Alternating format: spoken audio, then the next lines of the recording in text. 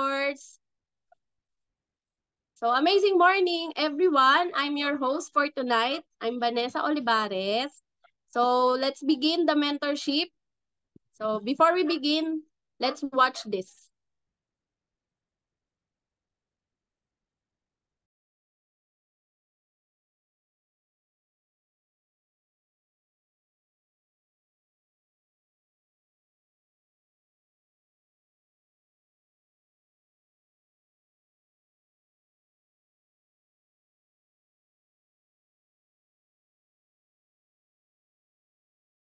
Tuloy-tuloy ka pa rin. Nahit mo yung isang bagay, mag-hit ka ulit ng another goal mo. Huwag kang mananatili doon sa nahihit mo. Dapat pag nahit mo yun, mas doblehin mo dapat yun.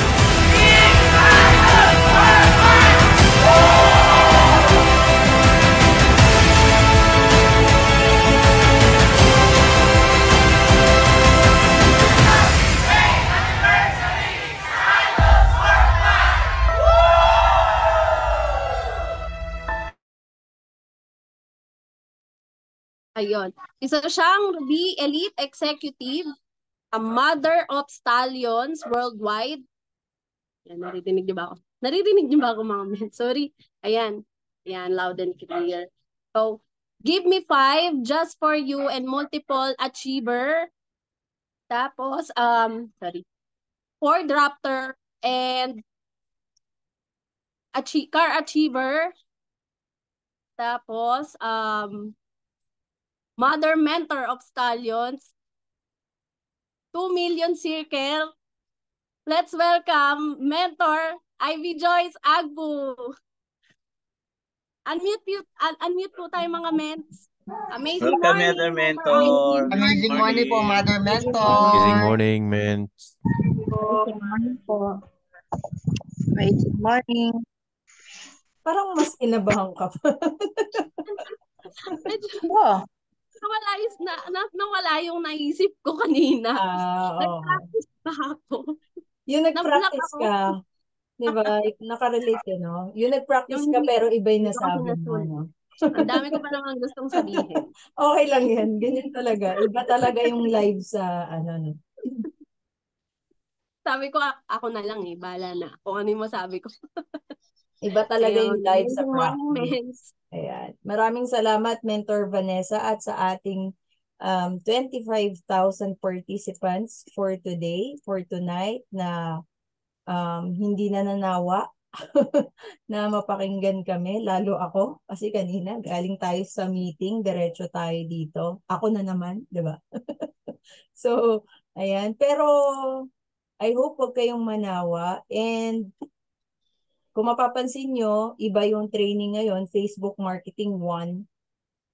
Kasi gagawin natin tong part 1 and part 2 kasi medyo mahaba nga siya. Hindi ako makatodo rin na may emphasize yung mga bawat um, bawat topic kasi limited lang yung time. Pero ngayon, ginawa natin, um, this is my first time na gawin siyang part 1. Ngayon yung part 1. So, God willing, sa susunod yung part 2. Pero next week kasi hindi hindi next week yung part 2, no? Abangan na lang po natin yung part 2 kasi pwedeng may idagdag po ako. No? Kasi hindi rin updated itong ano ko na to eh. So idadagdag ko siya dun sa part 2. Yung yung iaano natin, isasama natin.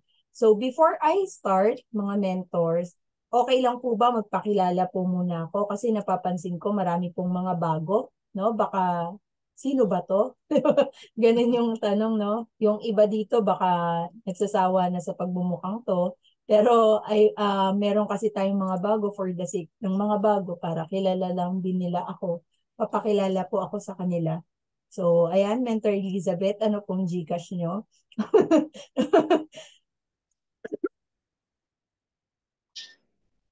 So, sorry, no? Sorry, sorry. Hindi ko na-unmute agad. Na si Mentor Elizabeth kasi pag na-excite ako eh, inuubo ako. Galing ako kasi sa labas, no? Dapat magbabarley ako, hindi pa ako nakapag-barley agad. Na-diretso na tayo sa meeting kasi may allergy ako sa, lab- sa mga alikabok pag galing ako labas. So, anyway, um, thank you, Mentor Elizabeth. mamaya paki-PM yung Gcash. Biro lang po. No? so, um, shout out lang ako sa lahat ng mga participants na nanonood ng live. I hope mamaya may mga manonood po neto ng replay. So, from start to finish, maganda po sa mga magre-replay neto. Tapusin nyo po. Kasi mamaya, umpisa mo lang, tapos medyo tinamad ka na, hindi mo siya tinapos. Tapusin po natin. Kasi actually, itong training po natin, mga mentors, uh, yung ilan po dito, um, actually, all of this, kasi ano to eh, original to eh. Although wala naman talagang totally in original, pero original ko to na ako yung nag-compile netong training na to hindi niyo to makikita sa sa I Am Worldwide. No? Only exclusive lang po ito sa Stallions Worldwide. So ako po mismo nag nag ano nito kasi this is with ano, galing po ito sa experience ko, sa sarili kong experience kung ba- bakit nabuo yung training.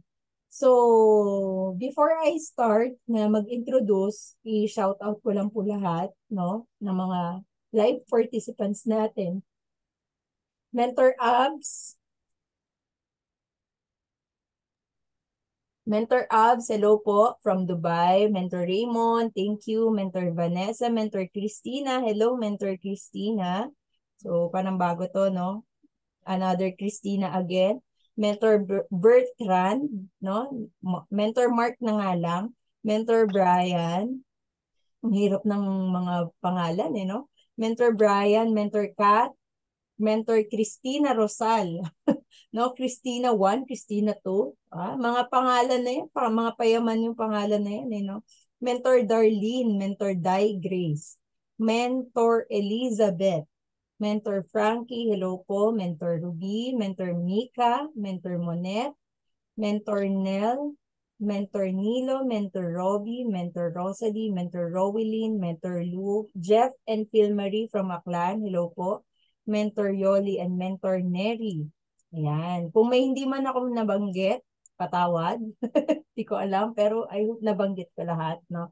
So, yan, start na po tayo. Excited na po ba kayo? Bago ako mag-start, pakitype po sa chat box gusto ko kayong maramdaman. I am excited.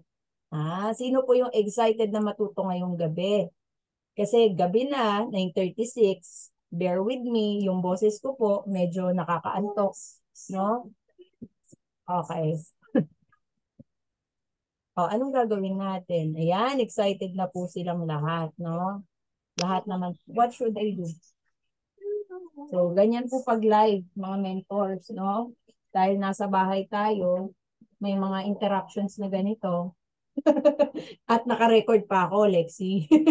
Mag-hi ka sa camera. Mamaya, marireplay ka rin nila. Di ba? So, wait lang. No? Hmm. Lana.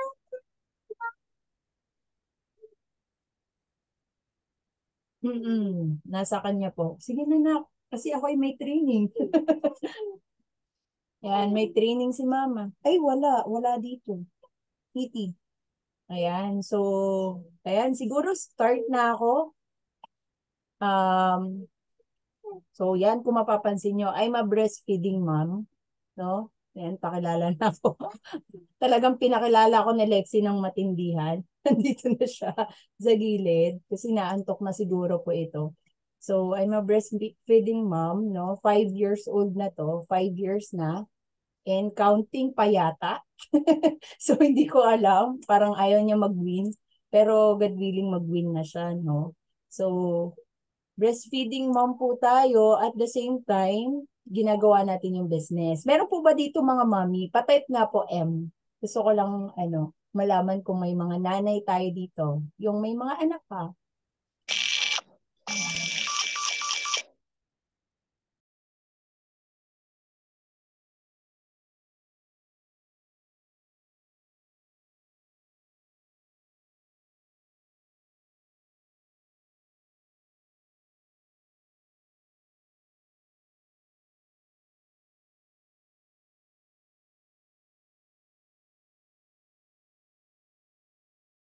Ayan, wait lang po ah, mga mentors ah.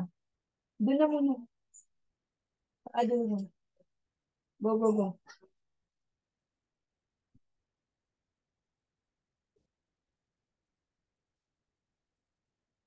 Oh, sige, doon na lang. Open mo yung earphone. Okay. Mga mentors, ano lang ah, pa-buy time lang. Mentor Vanessa, pa-tip over mo. Ayan. Habang nagwe-wait tayo kay Mentor Ivy. So, ayan. Um, standby tayo mga mentors. And pwede pa pong humabol yung iba nating mga leaders kung meron pa po tayong mga leaders na papasok. So, chat pa po tayo. Last call. Habang may ginagawa po si Mentor Ivy. Saglit. Salamat mga men sa mga naka-open cam. Habang mag-wait tayo kay Mentor Ivy.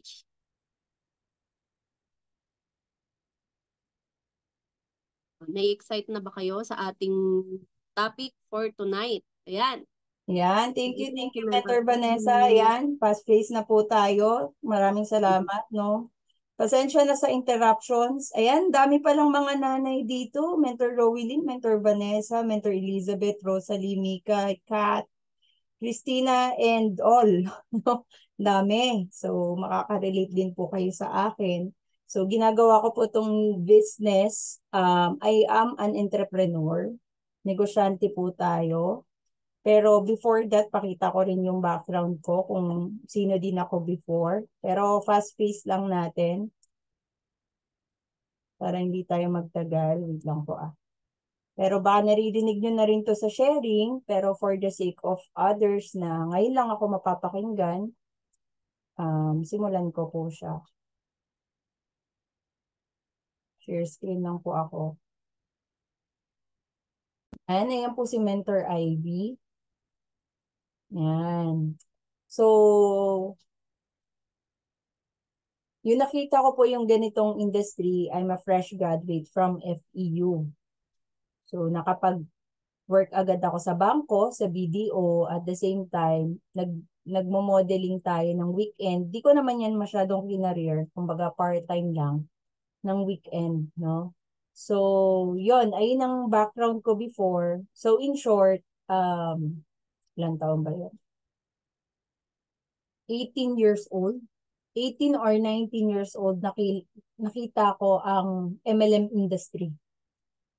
nakita ko yung ano, networking or MLM industry. Iba pa. Hindi pa siya IAM worldwide. Para hindi kayo malito, no?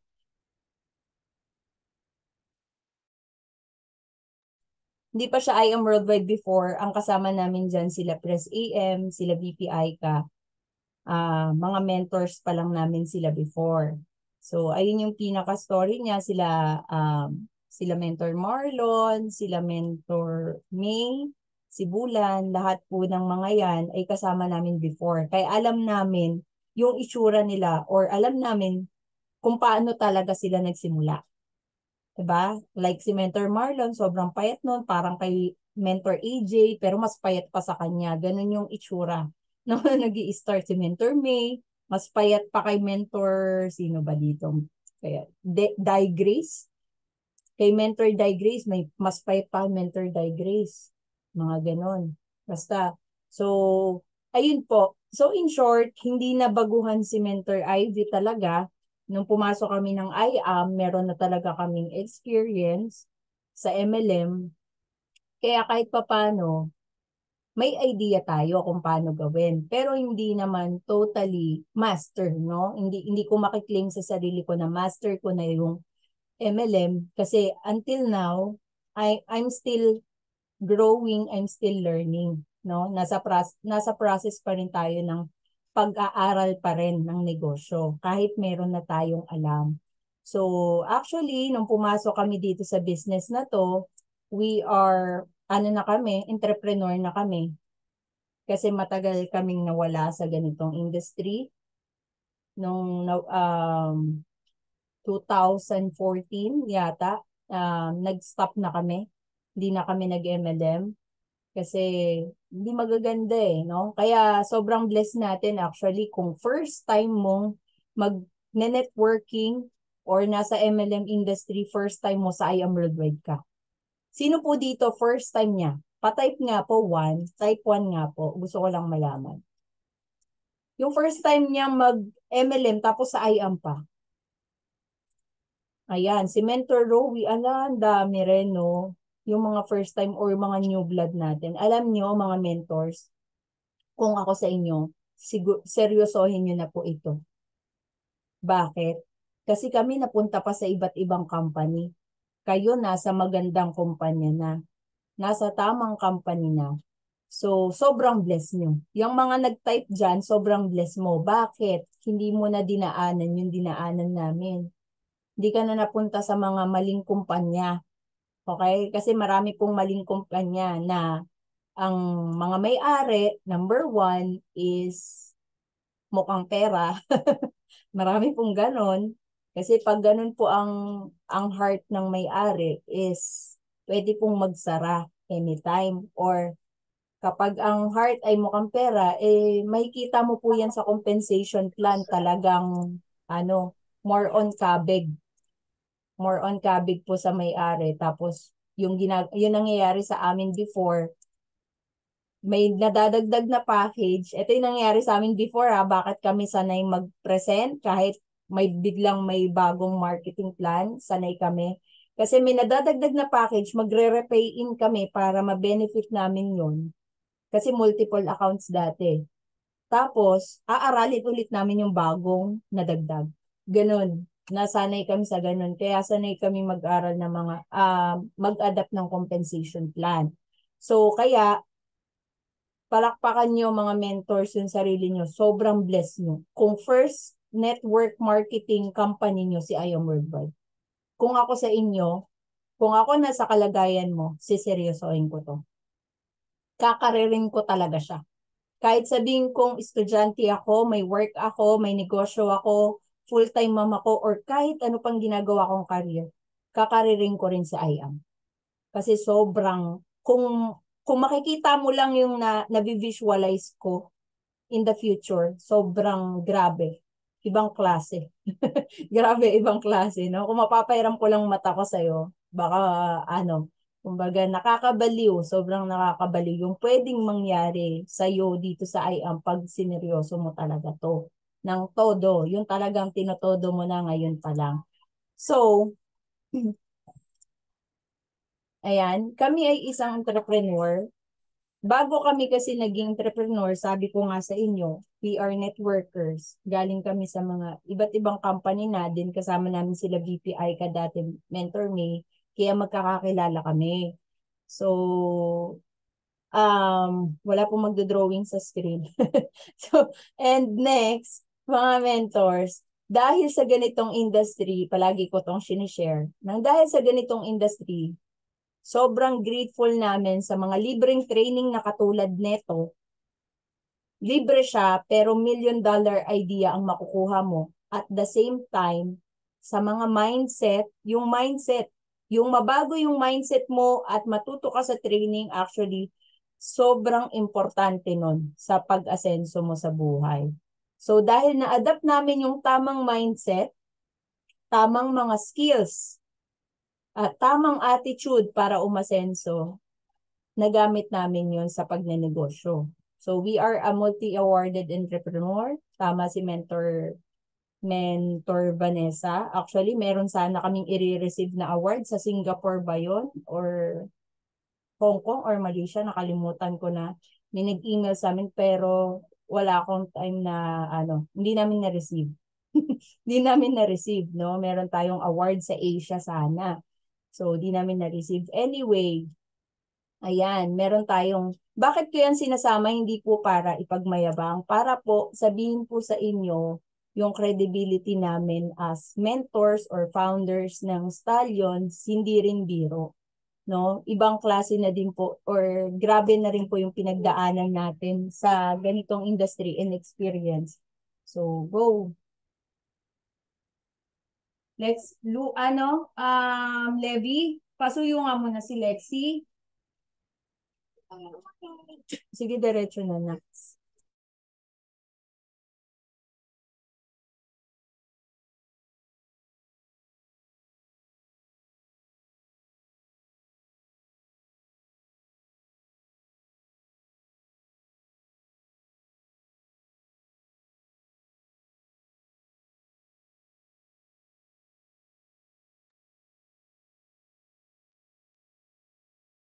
Yan, pasensya na mga mentors, no? Diretso na tayo kasi ano eh.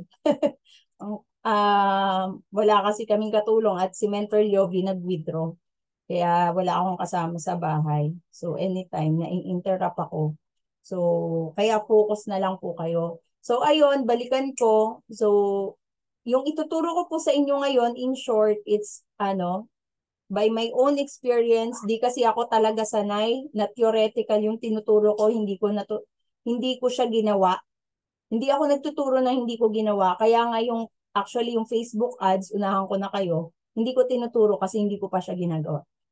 Okay? So, ayoko mo ayoko magturo kapag hindi ko pa siya natatry sa I am mismo kasi nakapag Facebook ads na naman ako mga mentors pero sa business namin.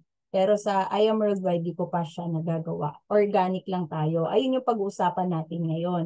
So, ayan, I'm a mom of three. Ang, ang kwento ko sa I am, mga mentors, kami po, nung ginawa namin to, after three months, kuma- kumita tayo ng kalahating milyon. Yan siya. And, ito po yung updated namin na just for you and give me 5, 1.1 million na siya. 9 times give me 5, 6 times good for you and jade for you na 2 times. So, ina-play lang namin kung ano yung ituturo ko sa iyo ngayon, sa inyo ngayon, ina-apply lang namin siya consistently. Kaya kami nakakapag-prospecting, inviting, may napepresentan kasi ina-apply lang namin kung ano yung natututunan din namin. So, Next natin, nag-top na rin tayo, top 32. Yan, with the help of the team. Diba? Kasi tandaan nyo mga mens, kung pumapasok ang team natin dyan, um, kung pumapasok kami dyan sa top movers, in short, may tulong din yung team dyan. Ibig sabihin, nag-grow rin yung team natin kasi na, nakakapag-compete tayo sa labas. So, at sinama ko rin to, in short, ang ganito kasing business, sabi nila, ang kumikita lang daw dito is yung mga nauna. Hindi po totoo yun kasi hindi naman po nauna sila Mentor Yogi and Mentor Ivy. Eh.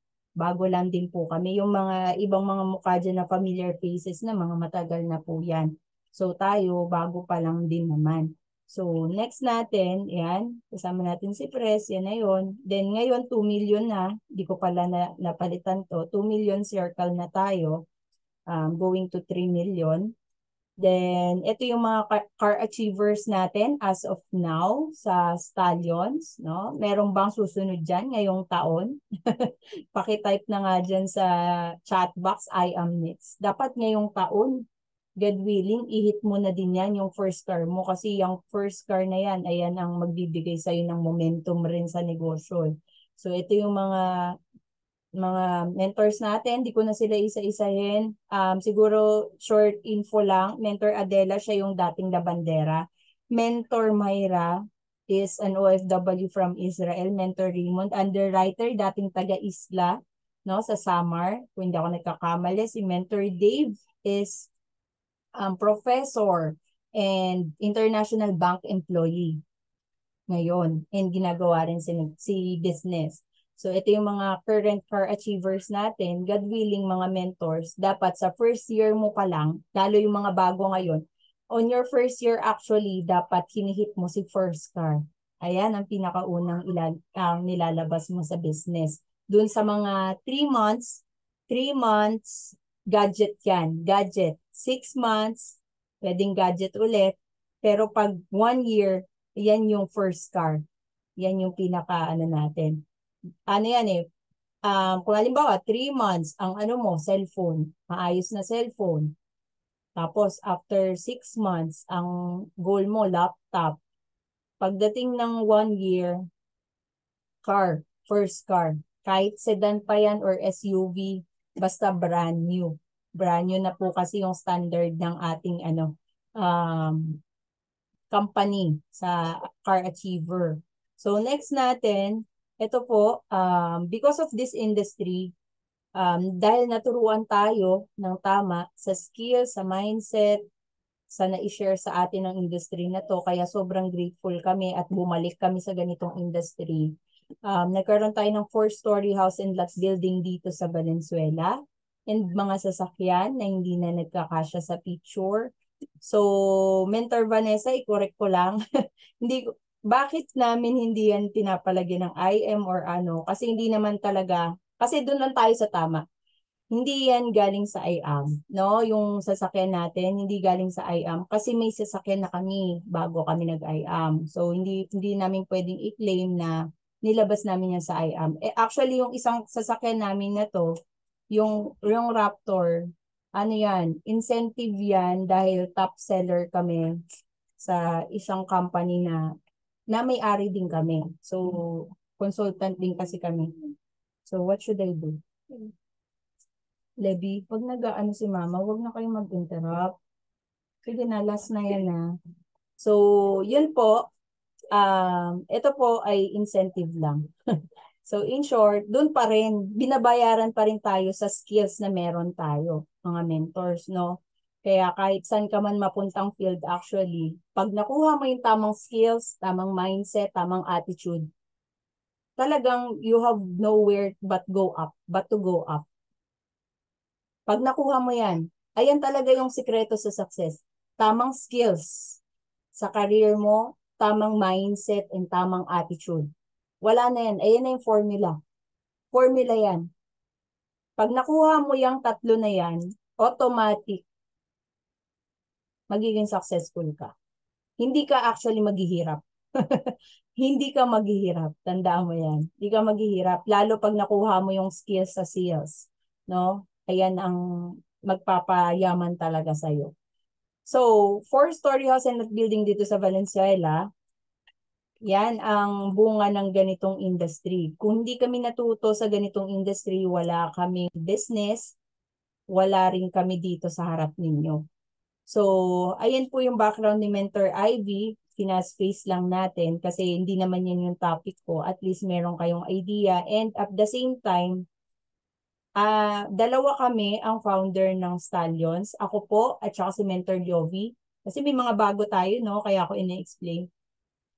Um, co-founder kami parehas ng Stallions Worldwide kung saan kayo nabibilang. Maaring nabibilang kayo sa Team Ants, Team Team International, Team Dalea, Team pangalan pa nito, Team Holy at saka Team Faith at Superstars, no? Superstars yung mga direct namin na iba.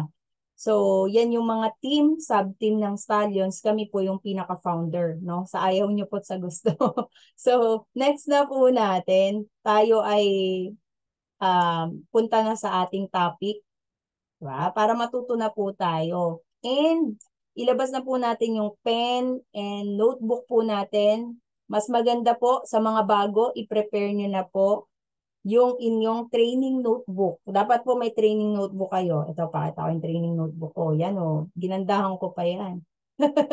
Nakalagay dyan, train to win. O, oh, Ivy Joyce. Actually, puno na to. O, oh, puno na siya eh. Puno na, kailangan ko na naman ng bago. So, bakit ko siya pinapakita? Kasi para pakita ko sa inyo, kasi mahirap yung sinasabi ko na magkaroon kayong training notebook. Ako hindi ako nagsusulat. Nagsusulat din ako talaga. Habit ko na yan. Habit ko na yan ng uh, mula dati pa. Ang dami ko ng notebook dito na, na napuno. Sobrang dami na. Kasi ink is better than think. Tandaan nyo po yan. 80% ng matututunan nyo po is nare-retain pag sinusulat nyo siya. Pero kapag hindi nyo po siya sinusulat, ang nare-retain lang po sa atin is 10 to 20%. So sayang yung 80% or sabihin na natin ganun. Kasi hindi mo naman talaga siya makukuha ng 100% sa isang pakinigan, kaya mong ma-adapt agad. Yung alam mo na, yung kaya mo na i-training after ko i-training, hindi ganun. hindi siya mangyayari. So para mas madaming kang maa-absorb, sulat po tayo. Ganun po kahalaga yung pagsusulat. Bakit ko siya ine-emphasize? So, start na po ako. Medyo technical po ito, lalo na sa mga hindi techie. Disclaimer lang, kung gusto mo siyang ulitin, ulitin mo na lang kasi hindi ko pwedeng i-slow pacing yung pag ano pag-explain or talagang i-detail pa. So, i-fast pace ko lang siya ng konti pero ididiin naman natin, no? Kung bakit. So, ayan, I mentor Ivy. Again, ang topic po natin is Essential Organic Facebook Marketing Routine for your IAM business. Or in short, Facebook marketing na organic. Yung hindi natin kailangan magbayad sa Facebook. So next na natin, ang magiging key takeaways mo po after this training is yung ating um, after this training, matututunan mo po na magkaroon ng um, right preparation. In short, mape-prepare ka. No? Ano ba yung mga kailangan kong i-prepare? No? Tapos, yung recommended Facebook daily routine natin at the same time, yung ano pa ba yung mga additional tips in marketing it effectively. Ayan po yung masasagot natin after this training. So, next na natin, making it big online. Learn how to effectively market your IM business online. Ayan po yung pinaka-purpose at ito po yung pinaka-purpose or layon natin kung bakit tayo nandito lahat is kung paano mag-market effective. Hindi lang basta mag-market kasi maaaring lahat marunong mag-market pero hindi lahat effective mag-market. Naintindihan niyo po yon? Magkaiba po kasi yung kaya mo lang pero iba rin po kasi yung pag ang skill mo is effective ka na mag-market. So, ayun po yung ituturo ko sa inyo ngayon. Yung matuto ka after this training, pag in-apply mo po itong training, magiging effective marketer ka. Ibig sabihin, effective mong mamamarket yung produkto ni IAM, effective mong mamamarket yung opportunity ni IAM. Yan. Excited na po ba kayo ulit? Paulit nga para ano, magising-gising lang yung ating mga daliri ma, ma ano magising-gising tayo. Yan, pa-type ulit sa chat box natin ng type 2 na lang. Type 2 kung excited ka na. Yan. So, marami nang excited. Ito na, right preparation. Kung may bago dito, tamang-tama itong topic na to sa'yo. Kung luma ka naman, mare-refresh ka. So, right preparation, ano ba yung kailangan kong i-create bago mag-establish ng aking daily routine or yung gagawin ko araw-araw sa business ko with IAM. So, syempre, unang-una dyan is email. Kailangan may email ka.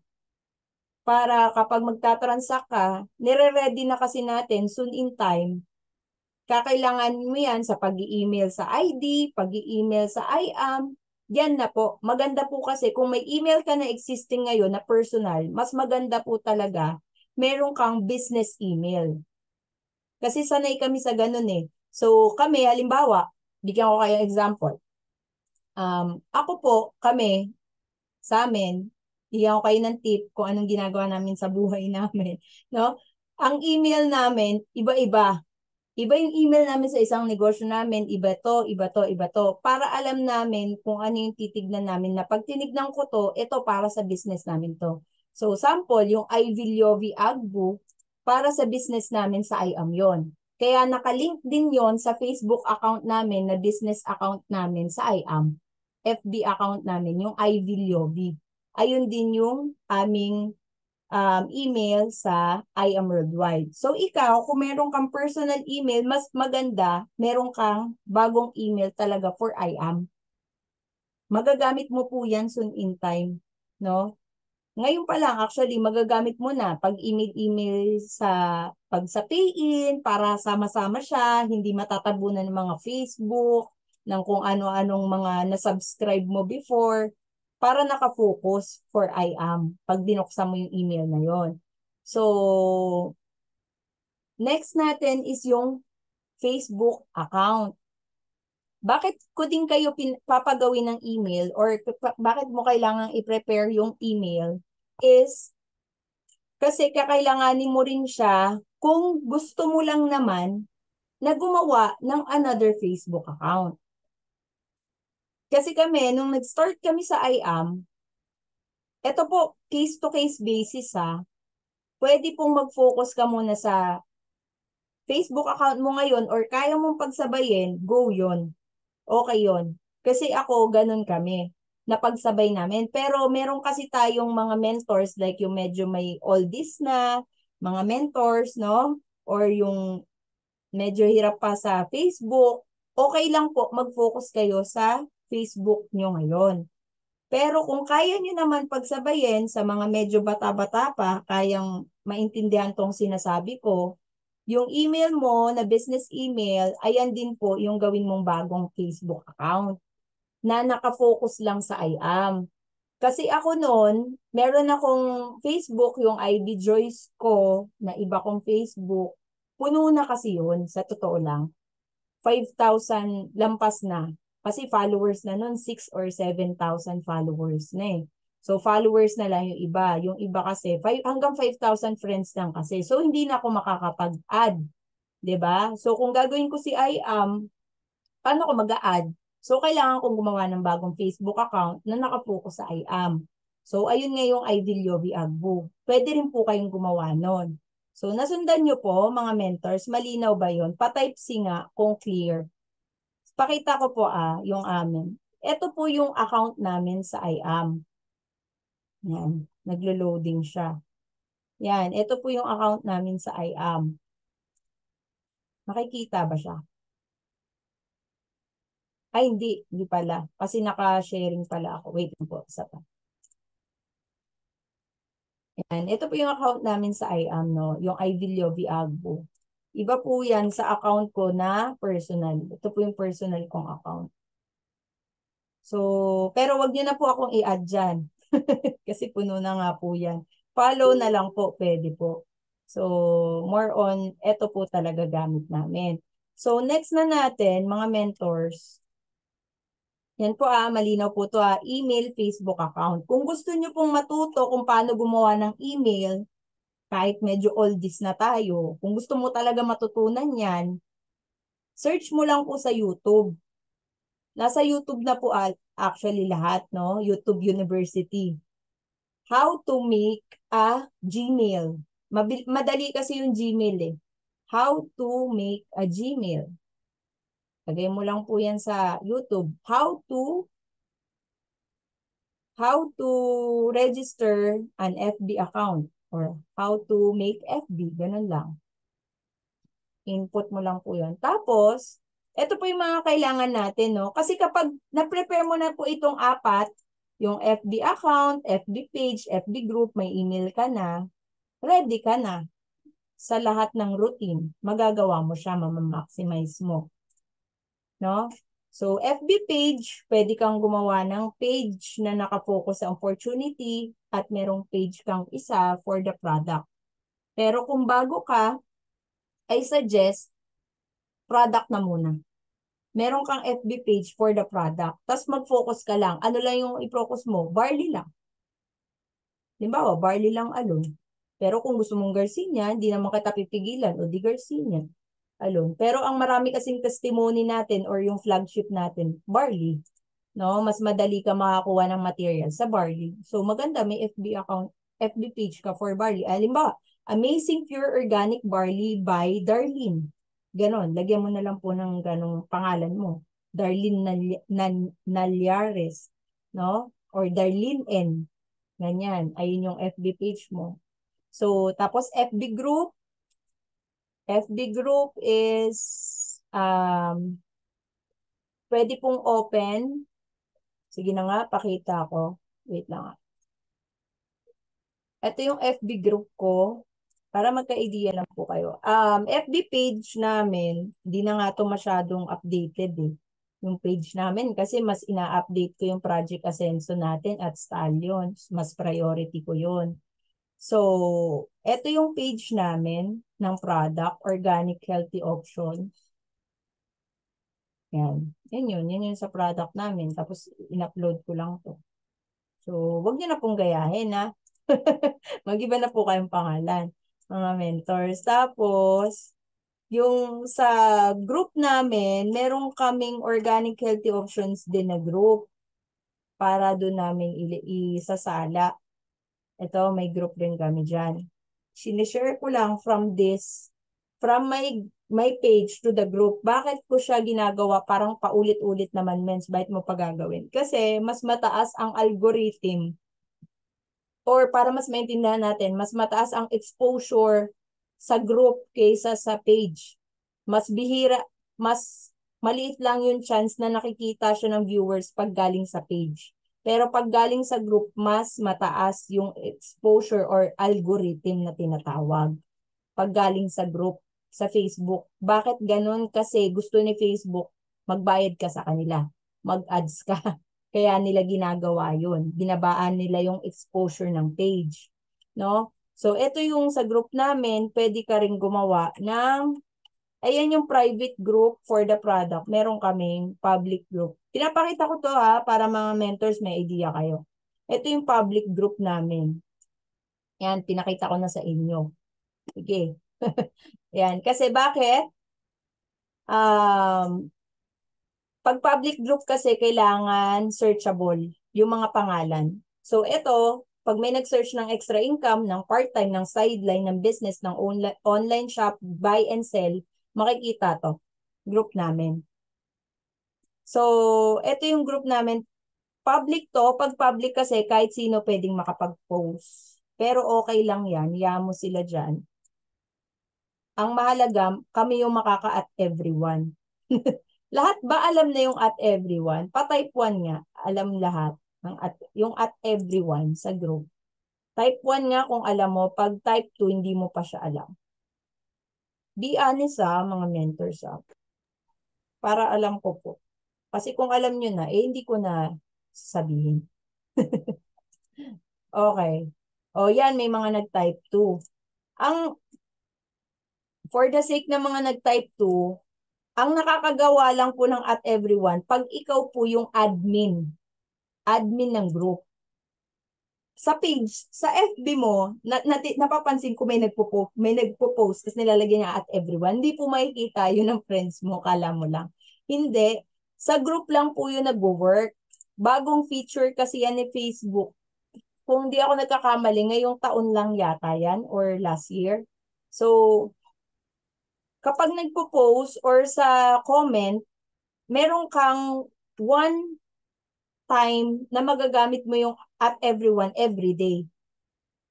Hindi siya within 24 hours kasi na-try ko na siya. Halimbawa, ngayon, bago mag alas 12, kahit halimbawa 11 p.m. ako nag at everyone, basta pag pumatak na yung alas 12, pwede ko na siya ulit magamit bukas. Hindi siya naka 24 hours. So, basta within the day, gagamitin mo. Halimbawa, ito. Ito yung post namin. Tapos, lalagyan ko lang yan dito ng, ayan o, at everyone. Para malaman mong gumagana, ayan o, at everyone. Sa group, pag nilagay mo yan at everyone, makikita lahat ng, mananotify pala, mananotify lahat ng members ng group. 30,000 members, mananotify. So, pag tinype mo yung at everyone, ayan o, nag-highlight siya. Ibig sabihin, hindi ko pa siya nagagamit ngayong araw. Sundan nyo? So, ginagamit ko yan sa Project Ascenso, di ba? Kung mapapansin nyo. So, ang nakakagamit lang niyan, nakakagawa lang niyan, is yung admin ng group. So, ako yung admin yan, ako kasi yung gumawa niyang group na yan, so nagagamit ko siya. Tapos si Mentor Raymond, nagagamit niya rin dun sa Project Ascenso kasi naka-admin siya. So pwedeng pa lang kahit hindi isa lang ang admin. So mas maganda actually pag marami yung admin ng group kasi madami yung makakagamit ng at everyone. So yun siya. Nalinaw po yun ah, mga mentors. Balik ako dun sa iniwan natin kanina. FB page, FB group, yan, FB account email. Kung medyo nalilito ka pa, mga mentors, itong sa right preparation na to, itong apat, focus ka na lang muna sa FB mo ngayon, kung ano yung gamit mo. Okay? This is optional. Optional yung paggawa ng email na bago, FB account, FB page, FB group. Pwede ka muna mag-focus sa Facebook mo. Okay? Tsaka mo na aralin yan pag nagamay mo na yung sa sarili mong Facebook. Eto na po, Magpo-focus lang tayo ngayon. Ang part 1 natin is spider approach or attraction marketing. Sa part 2 na natin pag-uusapan yung lion approach. Okay po ba? No? Yan yung, para kasi ma-detailed ko. Nahihirapan kasi akong i-detailed Kasi nga, time constraint. 'Di ba? Baka umabot tayo ng tatlong oras kapag dinetailed ko siya. Kasi ganun talaga ka-technical tong mga to pag i-detailed ko para mas maintindihan ng lahat. Kasi ang pinagbabasihan ko mga mentors, bakit ko siya dinidetails? Dinidetailed kasi hindi naman lahat fast learner. Hindi naman lahat nakakakuha, 'di ba? Kumbaga, ang ang iniisip ko, ang kausap ko ay ano, kumbaga slow. 'di ba? Slow maintindihan yung ganito. Kumbaga kailangan ko siyang i-explain sa mas madaling par- paraan at sa madaling salita. Same with followers din po. Ay yung at followers naman po, mga mentors, ay wala pong at friends. At followers po, magagamit mo po yan sa account mo. Parang ganun din siya sa at followers. Yung at followers naman, pag nag-post ka, ngayon araw, pwede mo siyang magamit yung at followers sa mismong post mo. Sa wall mo. Sa, sa sarili mong Facebook. 'Di ba? Magagamit mo at followers. So make sure kung mag-at followers ka, eh may kinalaman na sa negosyo yung pinapa-at followers mo. Hindi lang siya basta-basta na pinost. Kasi one time lang din siya eh one time mo lang din siya magagamit within the day. So kung ano yung best post mo, halimbawa, 'di ba may meron tayong sinasabing every 4 hours nagpo-post, pwedeng mag-post every 4 4 hours. So kung ano yung best post mo for the day, ayun yung gamitan mo ng at followers. Malinaw po 'yon. Nalilito ba yung iba? Kasi may nagtatanong na, hindi pa ako nag-start eh, yung regarding doon. Diba? Pag ginamit nyo po kasi yon sige, pakita ko nga. Kasi may nagtanong, kaya na-open. So, dito, pakita ko lang, hindi ko pa ata nagamit yung at followers. Ngayong araw, ewan ko lang kung meron saan. Halimbawa, ito. Ayan, halimbawa, ito. Pag inat followers mo, ewan ko kung gumagana siya sa ano. Hindi siya gumagana dito sa PC. Sa cell, sa ano siya? Try ko lang sa Reels ah. Kung gumagana siya sa Reels. Nagahang. Yan, halimbawa dito sa Reels. Ay, meron. Ito pala, yan po. Ito po, at followers. Ayan o, can mention followers once a day. So, pwede mo siyang gamitin once a day. Kaya maximize nyo. Gamitin nyo at followers at at everyone sa may group nyo. Lahat yan magaga ano nyo, magagamit nyo. Leave page. Try ko ulit dito ha. Ay, meron din po pala. Kailangan lang i-type mo lang ng buo minsan di siya agad lumalabas. Ayan o, at followers. Ito po. O sige, at gamitin ko na para makita nyo po. Huwag po yung mga ganun kasi page po yun eh. Dapat lumabas yung may at. Ayan yung may at. Yan po yun. So, lalagyan ko lang ng B part. So, yan. Tapos, dapat meron kang call to action. Ayun yung nilalagay mo. Ito yun. At followers, kung gusto mo ring maging part ng aming fast-growing successful business community, comment down below or send us a PM today. O, tapos i-type ko na yun dyan. O, ayan siya o. Nag-highlight siya. ba diba? Ibig sabihin, manonotify lahat ng followers ko dito sa aking FB. Ganun po. Gamitin nyo po yon yung at followers at saka at everyone. Powerful po yan. Ginagamit ko po yan everyday. Minsan nakakalimutan ko pero dapat ma-maximize talaga. Everyday mo siya gamitin. Um, next na po tayo ha. Balik na po ako dun sa topic ulit. Uh,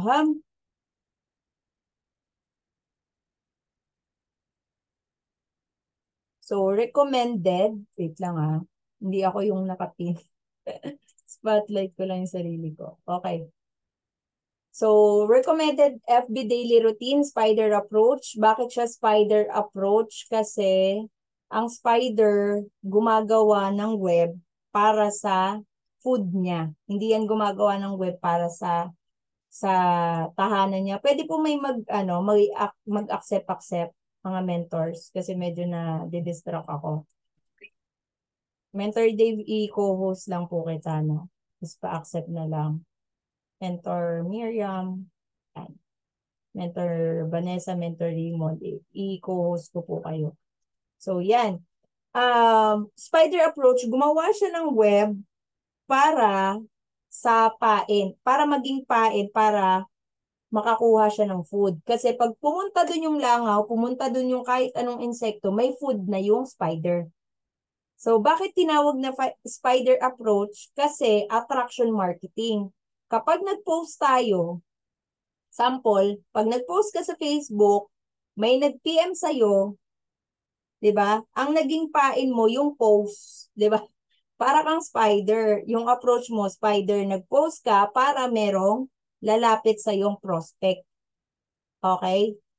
So, nagla- gumagawa tayo ng pain na sila mismo yung automatic na mag-PPM sa atin. Ayun yung spider approach. Yung sa susunod na routine, sa part 2, atenan mo yon yung lion approach yung pag-uusapan natin. Yung ikaw naman, yung sumusunggab sa prospect.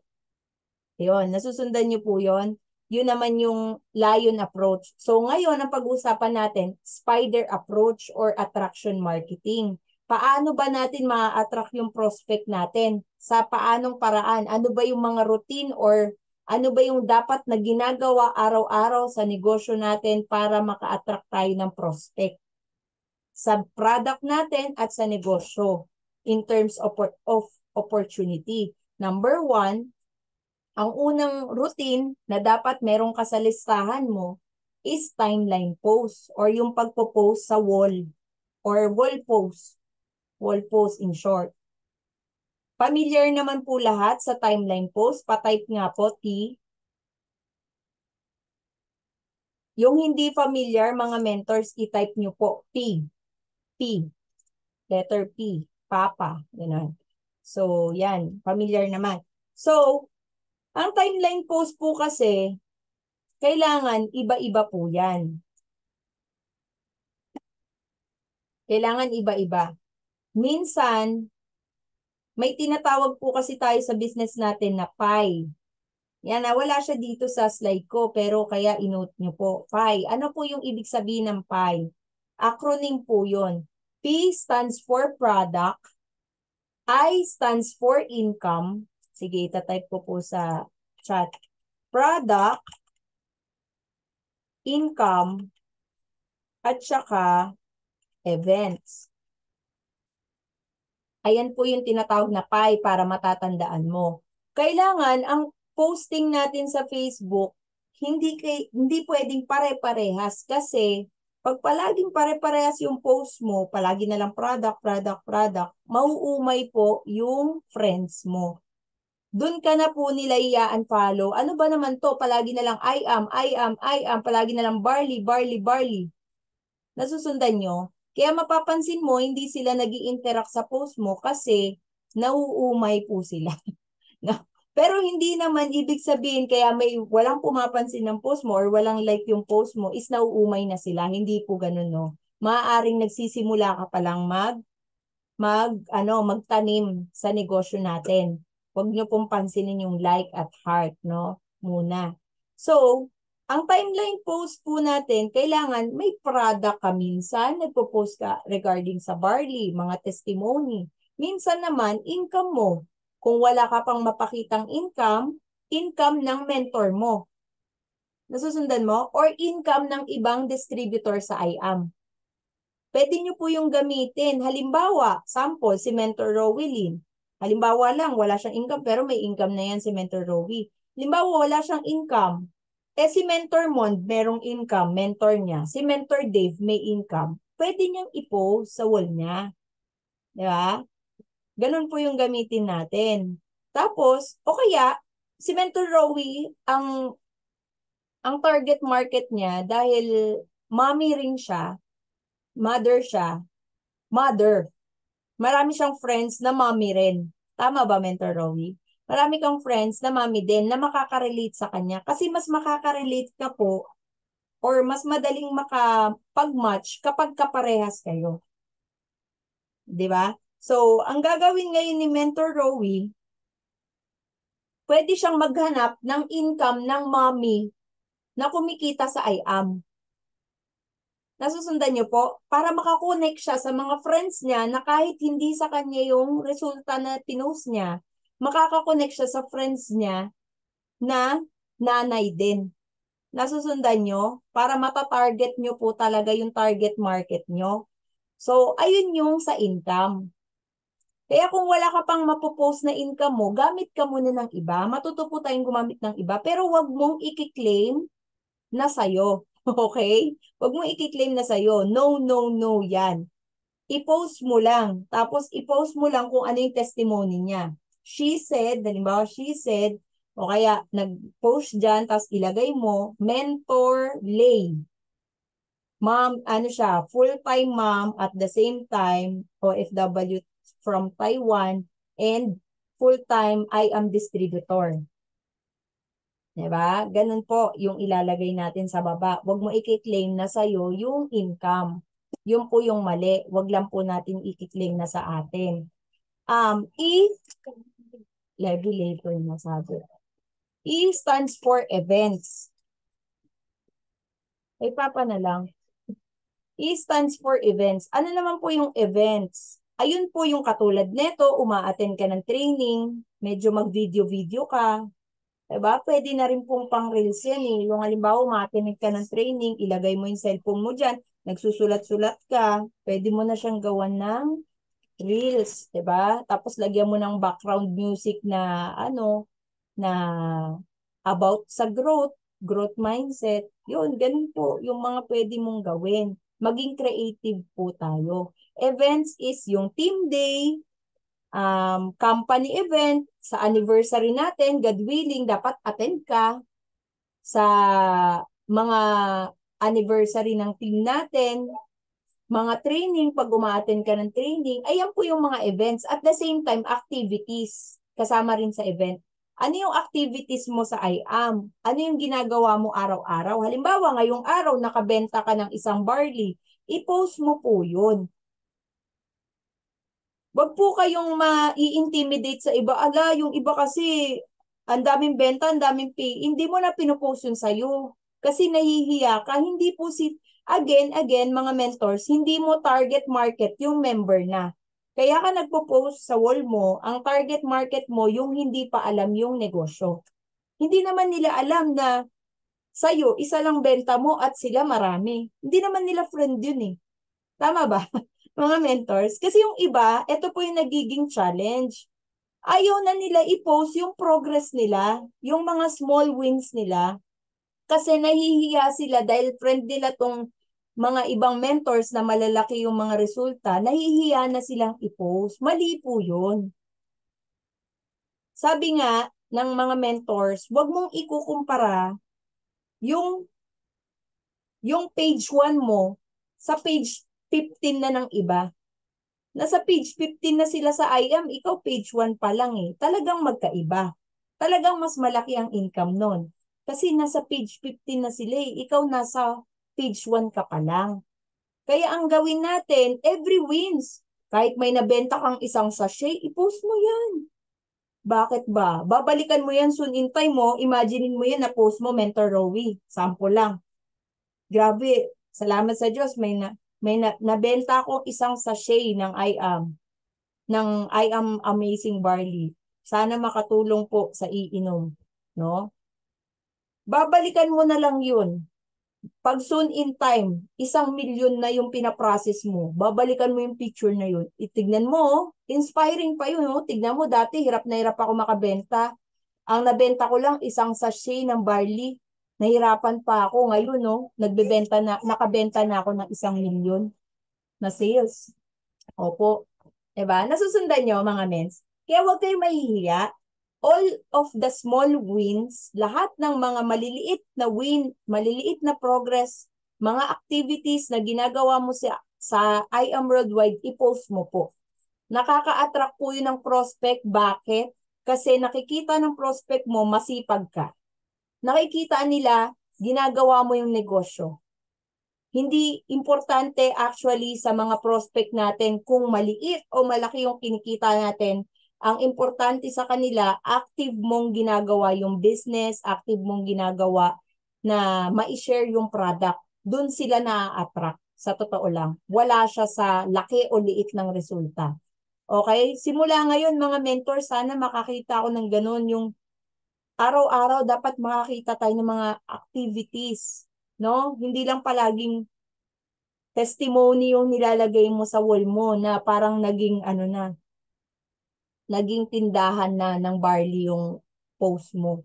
Hindi po dapat. No? Ano pa po yung mga pwedeng timeline post? Engaging and relatable. Ano pong ibig sabihin ng engaging and relatable? Engaging, ibig sabihin yung mapapa-engage yung audience. O sige, magbigay ako ng example. Kasi nga, part 1 naman to eh. Kaya na, na ano ko siya, na-detailed ko, no? Hindi katulad ng mga nakaraang kong training, binibilisan ko lang. So, sample ako. Ano ba yung mga engaging and relatable? Sample. Kanina nag-post ako eh. Oh, sample to. ano yung pinost ko kanina, yung about sa washing machine. Kasi maulan ngayon, di ba? Maraming malamang yung iba nagbibili ng mga dryer, ganyan. So, engaging and relatable. Itong post na to, masasabi tong engaging and relatable. Pinost ko dito kanina, ano ang mas magandang model? Ito bang model na to? W or P? Suggestions po. Pinost ko to kasi nag, nag nandun kami sa Robinsons kanina. Namimili kami ng washing machine. no? So, engaging siya. Bakit? Tignan mo, may mga nag-comments. Yung mga iba dyan, prospect ko ganito yung mga engaging post. Ibig sabihin, napapa-engage mo yung mga friends mo sa Facebook. O, di ba? Actually, hindi ko naman sila susundin. Hiningi ko lang naman yung kanilang mga suggestions. Mentor Yobi, asan si Papa? Kay Papa na lang, please. So, yan po yung example ng engaging post. 'Di ba? Pwede kang magtanong sa mga prospect kung ano yung ano nila. So, kung curious po kayo kung anong binili namin kanina is Whirlpool. yung W, bra. ano, Whirlpool. Ayun ang pinili namin. Di namin sinunod yung sa masa. Kasi sinunod ko yung ano eh, yung uh, yung features, maganda kasi yung features nung brand na, na yon. And leading, ano yun eh, first, first na, ang number one, ang unang-unang gumagawa ng ng washing machine is yun, the Whirlpool. Sila talaga. Oh, 'di ba? May pa-trivia pa. Next natin. Kaya hindi ako. Pero maganda din po yung Pino, yung Panasonic. Maganda din. Gusto ko sila talagang dalawa. Kaya na, na ano lang ako. So, ayun. Next na tayo. Yan yung mga makaka-relate. Kasi sample ako, market ko rin yung mga mami. May mga friend rin ako ng mga mami, nanay ng mga estudyante ng mga anak ko. Kasi ina-add ko sila. Kaya market ko din mga nanay, katulad ng mga nanay din dito. So, yon Kaya ako nag-post ng ganon. Kasi para maka-engage ako sa kanila. And once na naka-engage, hindi po kasi natatapos doon. Yung mga nagko-comment doon na prospect ko, mapi-PM ko na po sila. Uy, friend! Halimbawa, uy sis, salamat sa pag-comment mo ha, sa recommendation mo sa post ko ha. Salamat sa recommendation mo. Nakabili na pala ako. Ito yung binili ko. So, nga pala, kamusta na? Makakakunik ka kasi doon, mga mens. Hindi po ang pagpo-post is parang palagi na lang direct direct selling. Kumbaga palaging direktang nagbebenta ka ng barley.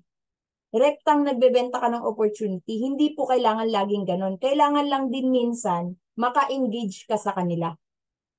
Sa mga prospect mo, sa mga friends mo. Dapat gumawa ka ng way. Kaya nga minsan kailangan mag-post ka din ng lifestyle.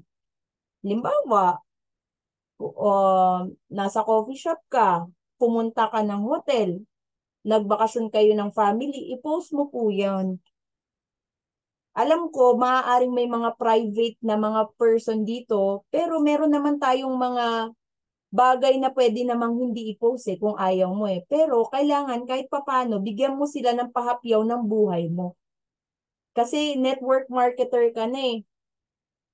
Em, wala kang choice, no? Kumbaga wala tayong choice dahil um, MLM leader ka na. Ginagawa mo na si I am. So in short, kahit papano, dahil kasama yan, kailangan kahit papano, lagyan po natin ng twist na pinopost mo rin yung family mo.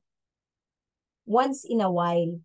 'di ba? Nakasama yung kung saan kayo po. Halimbawa, pumunta kayo um nang dahil sa income mo sa IAM, na-trick mo yung family mo sa resto, mga ganon, i-post nyo po yun. Tapos, nag-ano ka, um, ginagawa mo yung business, kahit nasa coffee shop ka, nasa labas ka, wala ka sa bahay, o kaya nasa bahay ka, pinopost mo, ginawa mo yung business, yung, yung ano mo, yung desk mo, yung sarili mong, halimbawa, may, may binili kang something dyan sa bago yung laptop mo, bago yung gamit mo, post mo yun. ba? Hindi naman pagyayabang yun eh. Alam niyo kung bakit? Kaya mo naman yun ipopost at dapat ang mindset mo kaya, kaya mo siya ipopost para may ma-inspire. Ginagawa mo yun para may kung may ma-inspire man is maa-attract mo siya sa negosyo mo. So, shows lifestyle ang tawag doon. Humorous is parang mga post minsan ni Mentor Yovi. Bagay sa kanya yon No? Ito naman, dumidepende sa personality. Hindi lahat ng joke bagay sa'yo, hindi mo pwedeng i-post. So, pag bagay sa'yo, adapt mo. Pag hindi, wag mong i-adapt kapag may nakita ka. So, idedepende mo rin sa personality mo. No? So, humorous is yung mga nakakatawa. Kasi pag, alam nyo mga mens, ang mga men, ang mga audience natin or target market natin ngayon, especially Pinoy, no, mga Filipino, ang mga gusto niyan is yung mga positive na post, yung mga napapatawa sila, napapasaya na post, nai-inspire sila. Kung ayan yung gusto ng market natin, ayan yung ibibigay natin sa kanila. Nasusundan nyo po para magustuhan kanila as business partner with IAM. Kasi para tayong, pag nagpo-post tayo, para tayo nandiligaw. Kagusto-gusto ba ako? Parang ganon. Kailangan ipakita mo kung anong meron ka. O halimbawa si Mentor Yoli. Minsan, pag mga weekend, pwede siyang mag-post ng nagla-live siya na kumakanta siya. Kasi maganda boss si Mentor Yoli. Di ba? Mga parang napahawak sa ano nilalamunan si Mentor. Ganon, kumakanta. Kasi ano, ano lang, bonding with family. Mga ganon, mga mentors. Kasi kailangan mo yung gawin para maka-engage ka sa mga prospect mo. Kasi ang mga prospect natin, ayaw nang binebentahan directly. Pero bumibili naman talaga sila eh. Di ba ikaw nga bumibili ka, pero karamihan lang ng prospect, ayaw nilang binibentahan ng rekta. Yung iba, gusto indirect. Gusto medyo nagpapapilit pa. So in short, dapat papampam pa tayo. Papansin tayo sa wall natin. So ganun po, no? Brings curiosity. Ano pong ibig sabihin niyan?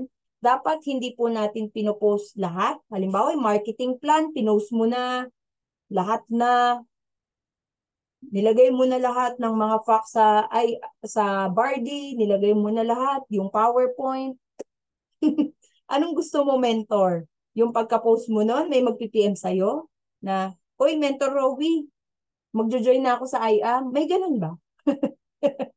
yung ganun, yung akala mo, prenesenta mo na siya, kaya mo pinost yun. Hindi po. Huwag po natin siyang gawing parang bara-bara na kahit ano na lang i-post natin. Kailangan naku-curious din sila. Ayun din yung isang post. Brings curiosity. Pag magpo-post ka ng about sa negosyo, wag mong ibigay lahat. Kasi mauubos ka. Parang iba yun. No? Parang iba yata yun. Sa, sa ano ata yun. Sa love life yata yun. Huwag mo ibigay lahat. Kailangan ako curious. Kasi the more na naku-curious yung prospect mo, the more na magtatanong sila sa'yo. Kasi pag hindi mo sila na-curious, paano pa sila magtatanong sa'yo? Ako nga minsan, di ako naglalagay na barley yung iniinom ko eh. Nagtimpla-timpla lang ako. So may nagtanong, ano yung iniinom mo? O di makaka-engage ako. Nasusundan niyo po. Hindi ko nilalagay talaga amazing barley, pampa pampaganda po ng balat, pampaganto po yan, may 68 micronutrients, may ganyan, ganyan, ganyan, ganyan. Hindi ko nilalagay lahat. Usually isa lang o kaya minsan di ko nilalagyan kasi para magtanong yung prospect ko sa akin. Para mag-PPM sila. Ayun kasi yung goal natin, di ba? Yung makakonect tayo sa kanila. Ayun muna yung first step, hindi agad makabenta. Okay? Hindi laging yung post natin para makabenta. Dapat, ang isang goal din natin is makakonect. Kasi once nakaka-connect ka na, eh, madali na lang magbenta. Kasi na-connect ka na eh. Nakakonect ka na sa kanda. So, and the last one is avoid jargons. Ito po talaga yung medyo mahaba ah, na ine-explain ko, ine-emphasize ko yung one. Baka sabihin ng iba, wala, one pa lang, anong oras na?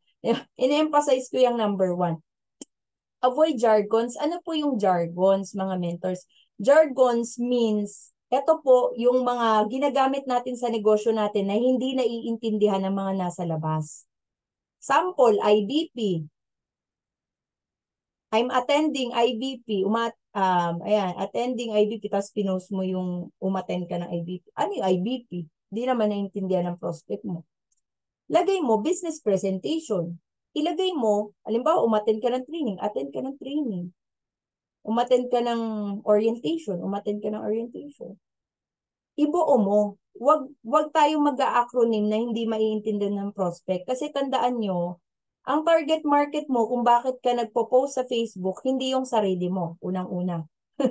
Kasi maraming nagpo-post, note to self, palagi ka na lang, yung parang yung post mo lagi na lang, paimo para sa sarili mo hindi ka nagpo-post para sa sarili mo. Nagpo-post ka para sa market mo. Sino ba yung market mo? Ayun po yung isipin natin. Hindi member ang mar- market natin. So kung hindi member ang market natin, pasimplihin natin yung mga words.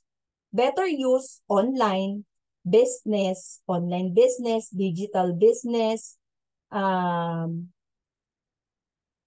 Huwag pong maglagay ng networking. Depende na lang kung networker ang market mo.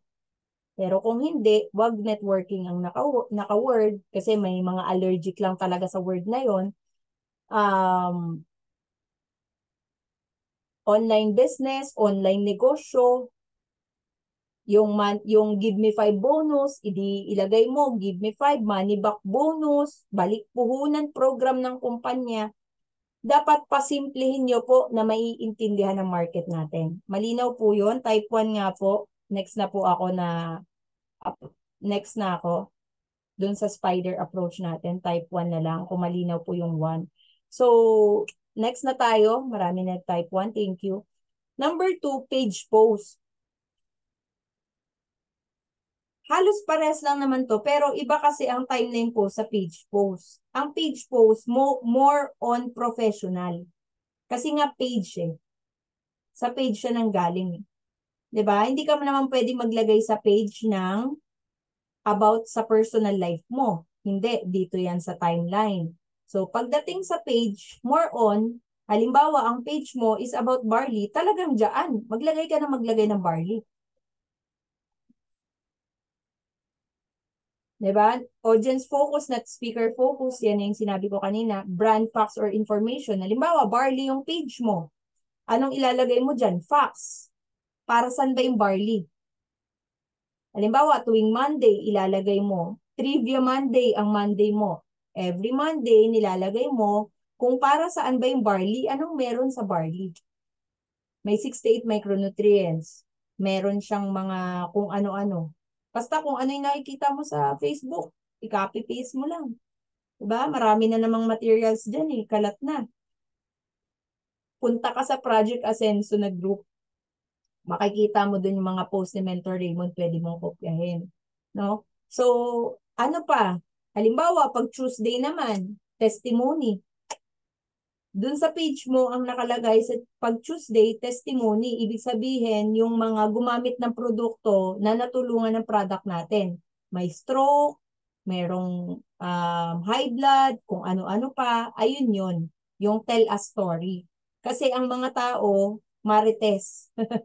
mas gusto nila yung, kung mapapansin mo, mas gustong pakinggan ng tao ang kwento kaysa information. Ganun po ang tao. Mas nahuhook ang mga tao or ang mga Pinoy, especially sa marites or sa mga story, sa mga kwento kaysa sa information. Kaya, sabi nga ni Mentor TJ sa training niya, facts tell, but story sells. Ayun po talaga ang bumabenta, yung kwento. 'Di ba? Pansin mo, si Mentor Rosalie, halimbawa, nagkwento sa kamura, kumari niya. Alam mo, kumare, ang ganda talaga ng gamit ko kaninang shampoo. Tignan mo naman yung buhok ko ngayon, kumare, oh, napaka-shiny, napaka-lambot, napaka-ganda, di ba? Ibang-iba, iba talaga yung bagsak. Binili ko dyan, oh, sa bagong bukas na tindahan. Eh, yung ginamit kong ganda, try mo. Sa tingin mo, pag ganun, ganun binibenta ni Mentor Rosalie dun sa kumare niya yung shampoo na yun, ibe, mapapabili mapapabili. Kasi ang tao nga, ganun. Kapag testimony ng iba or kwento, hook na hook tayo. Yung talagang parang buong senses mo, nandyan yung mata mo, yung ilong mo, tenga mo, talagang nakafocus kapag ganun ang pag ganun ang usapan, pag kwento. 'Di ba? Kaya bumibili ka. O, na, nabentahan ngayon ni Mentor Rosalie ng shampoo na ginamit niya. Ang tanong, kumita ba siya? Mentor Rosalie nung nagbenta. Hindi. Alam mo ang kaganda ng negosyo natin? Yung barley, ikwento mo. Nasa palengke ka, uy, alam mo medyo ano, ang tamlay mo ngayon, Nay. Yung ano, suki mo. Nay, medyo matamlay ka, ka ngayon. Alam mo, mag-barley ka. yung palaging bukang bibig mo yung barley. Kasi alam mo, ganito yung nangyari sa akin eh. Tapos, i-share mo yung testimony mo. Kasi matibay yun. Diba? Alam mo yung nangyari sa akin, ganyan din ako nun eh. Anong tamlay ko? Palagi akong walang energy. Ayun pala, kaya pala, kasi kulang pala ako sa nutrisyon. kaya nung ginamit ko yung barley, tignan mo, kahit wala akong kain, ano ko, parang, parang nakakain ako, full of energy pa rin ako kasi nakabarley ako. Yung mga ganon, no? So, kung ano yung talagang testimony mo, ikwento mo si Barley kahit saan ka pumunta.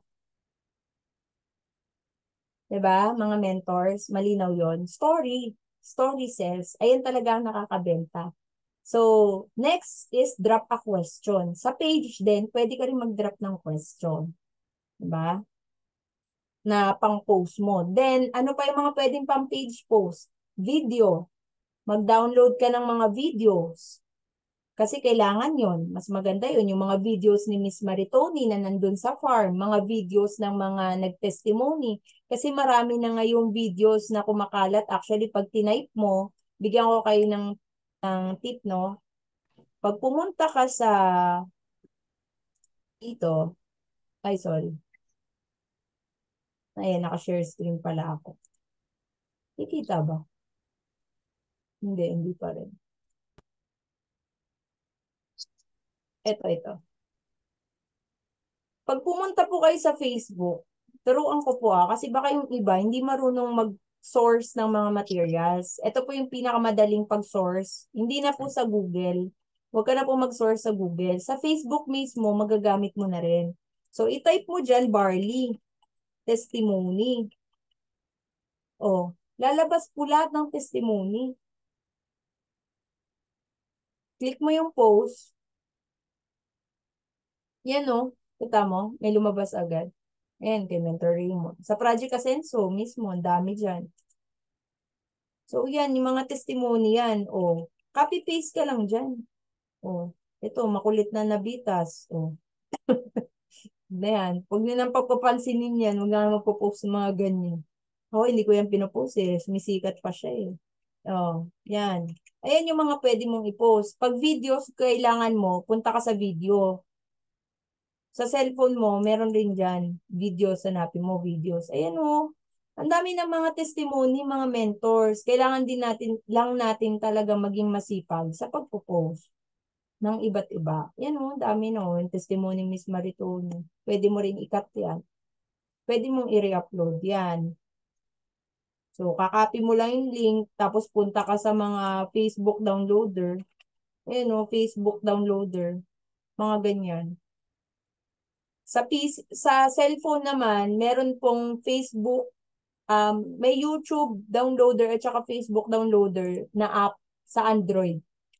Sa Android meron. So, ako kasi PC, ayan o, download ko lang yung video. Download ko na yan. Tapos, upload ko lang sa page ko. Ganon ginagawa ko. Meron na rin mga reels. Halimbawa, reels. Kasi naka-PC ako eh. May mga reels na rin ng Bardi testimony. Punta ka sa reels. Wait lang. Ba yung reels? Pag dito. Iba kasi pag ano eh, sa PC eh. Lalo hindi pa to. Ano. Halimbawa reels. Try ko lang. Try ko lang. Nakikita ba yung mga reels dito? Hindi masyado nakikita dito sa ano ko eh, sa aking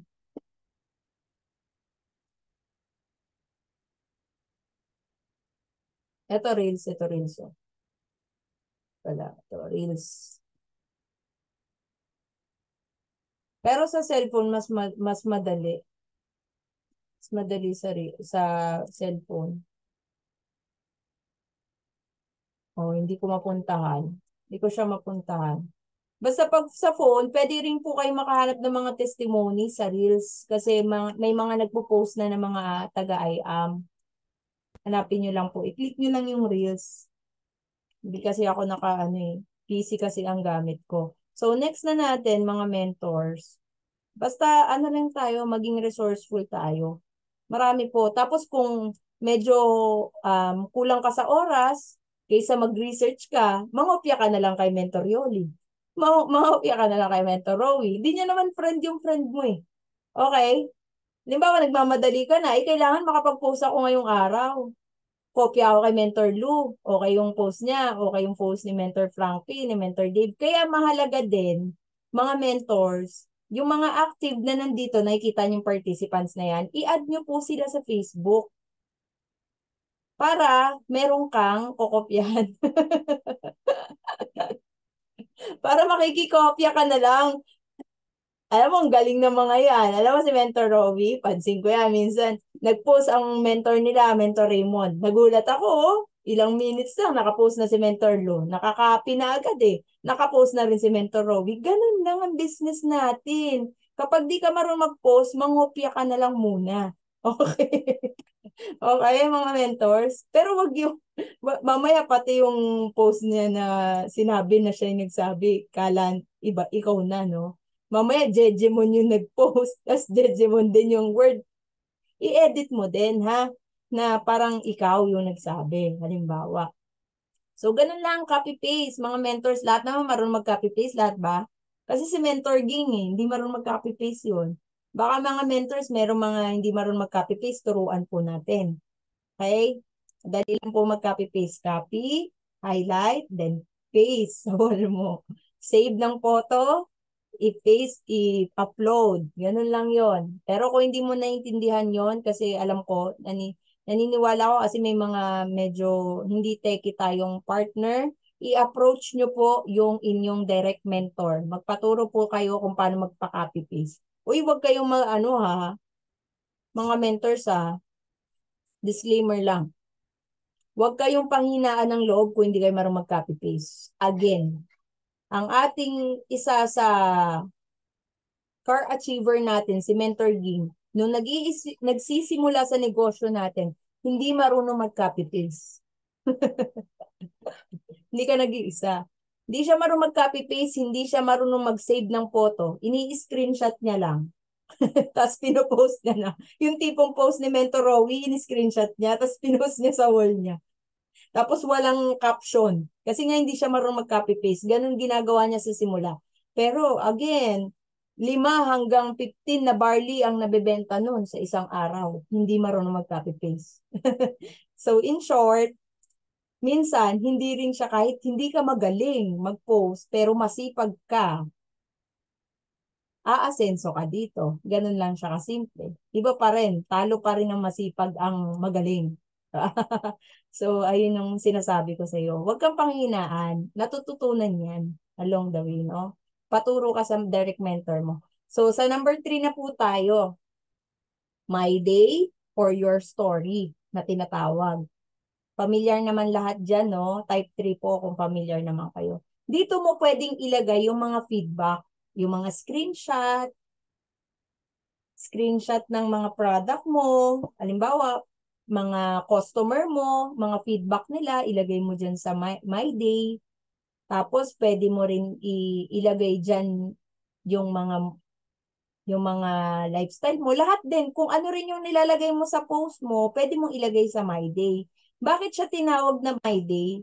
Kasi, ang My Day, kaya siya tinawag na My Day, para makapag-post ka agad ng about sa'yo. Hindi na siya nilalagyan ng caption eh. Halimbawa, ngayon, mismo, at the moment, nagpa-process ka ng barley, pagka, pagka selfie mo ng ganyan, mapopost mo na agad sa My Day. Ayun yung kagandahan ng My Day. Hindi ka na nag-iisip kasi ng caption. Kaya siya tinawag na My Day. Yung mga ma- mabilisang post, nag-transact ka, nag-ano, napadala ka sa JNT, picture kang ganyan, lagay mo na agad sa My Day, wala nang isip-isip caption kasi nga My Day siya. Ayan yung kaibahan niya sa post. Yung timeline post kasi pinag-iisipan. Nangungopya ka pa sa iba. O kaya pinag-iisipan mo pa yung ilalagay mo sa caption. No? Ayun yung timeline post. Ayun yung kaibahan niya. Kaya sa My Day, maximize din natin. Bakit? Ang kagandahan kasi ng My Day, ang kumpara niya sa timeline post, ang My Day kasi nakikita mo kung sino nagsisin. Susundan nyo, maximize nyo pa rin po yung My Day, baka hindi kayo naglalagay sa My Day. Ang My Day, nakikita nyo kung sino nagsisin. At ang kagandahan nun, pag nasin niya, pwede mo siya i-PM. Alam mo kasi active siya eh. Uy, Rowie, thank you for salamat sa pag-sin ng My Day ko or nakit na-notice ko lang na nasin mo yung My Day ko. Rowie. Sis, o kaya sis, sis Rowie. Na-notice ko lang na sin mo yung My Day ko. Baka interested ka sa Amazing Barley. Or baka may kakilala kang interested sa Amazing Barley. Refer mo naman sa akin. Mga ganon, something like that. Or, Rowie, na nakita ko, nasin mo yung message ko. Ay, nasin mo yung story ko. Familiar ka na ba sa I Am Worldwide? rekta na. Mga mentors, maniwala kayo, ganyan na ginagawa ko ngayon. Nagawa namin ngayon. Familiar ka na ba sa I Am Worldwide? O pag tinanong niya, ano yun? Hindi ko pa nga alam eh. Nakikita ko lang may pinopost ka pero hindi ko pa siya alam. Ayun yung sabi ng ano mo. O di. Ah sige, may, may time ka ba ngayon? 13 minutes, pwede mo mapanood yung video to explain the business or to explain the product? O send mo na, pag sinabi niya, okay lang, Free naman ako ngayon. O, send mo na yung 13 minutes video. Papasukin mo na siya dun sa Project Ascenso. Invite mo muna siya sa Project Ascenso. Tapos send mo na yung link ng video ni Mentor TJ. O, napanood na. Tapos closing na. O, ganun lang kadali yung business, mga mentors. Okay? Ganun yung idea noon. Kaya pag may nagsisin sa My Day, lahat na nagsisin, i-PM mo yun. Hanggang 20, hanggang 20 yung pwede mong i-PM ng right away para hindi ka maban sa Facebook. Kasi may kita ni Facebook, PM ka ng PM, dire-diretso. So, hanggang 20, 20, PM mo. Ganun lang, pare-pares lang ang script. Uy, Dave, na-notice ko lang, nakita mo yung My Day ko. Familiar ka na ba sa I Am Worldwide? Ayun lang script, mga mentors. o pag sinabi niya, hindi pa nga eh. Oo nga, eh, familiar na ako. Ah, maaaring familiar ka na, pero baka hindi mo pa alam ng buo. Okay lang ba sa'yo? I-send ko sa'yo yung 13-minute video. Ganun lang po, kailangan casual lang. Kung paano ko sinasabi ngayon, kung paano ka magsalita or kung paano ka mga usap ng mga kakilala mo, ganun mo lang din po siya kakausapin. Hindi kailangan formal na formal. Okay? So, ganun po ang pag ano gamit ng story. So, sa story naman, story, ang technique sa story para maging effective storyteller ka, first, pakinggan niyo po ito kasi mahalaga po ito. Hindi po basta bara-bara sa story.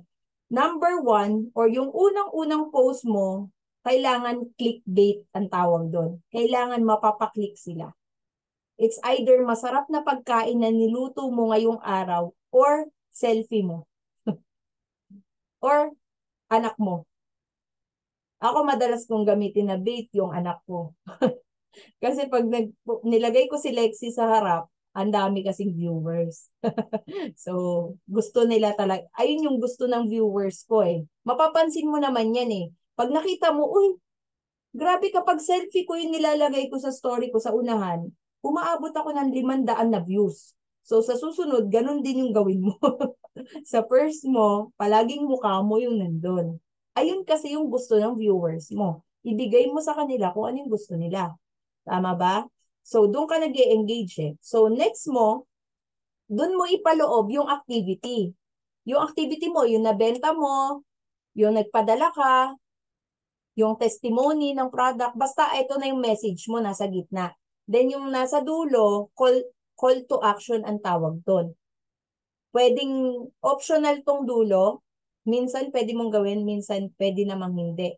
Ano yung call to action? Yung sa dulo, halimbawa, nilagay mo yung mukha mo sa unahan. Sa, sa next, mga nabenta mo.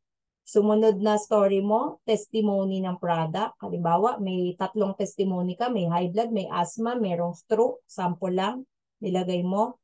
Tapos yung billboard na bago, sample lang. Tapos, sa dulo, ilagay mo yung call to action na tinatawag.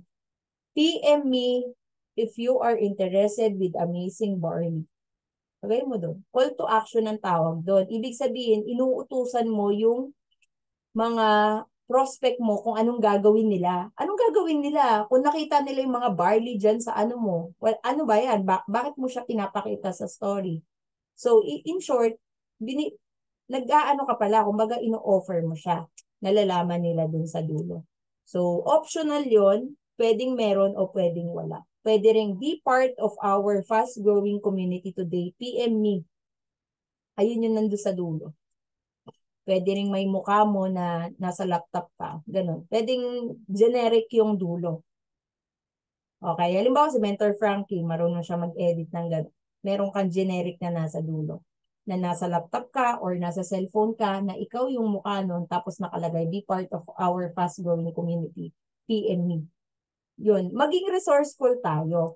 In short, wala namang tama or mali sa pagmamarket, pero sundan nyo po yung pattern. Ayun po yung pattern. Bait yung umpisa, yung pangsunod, yung mga testimony or lahat na ng activities mo, any, tapos dulo, call to action. Optional yung call to action. Basta, ang wag niyong kakalimutan yung bait.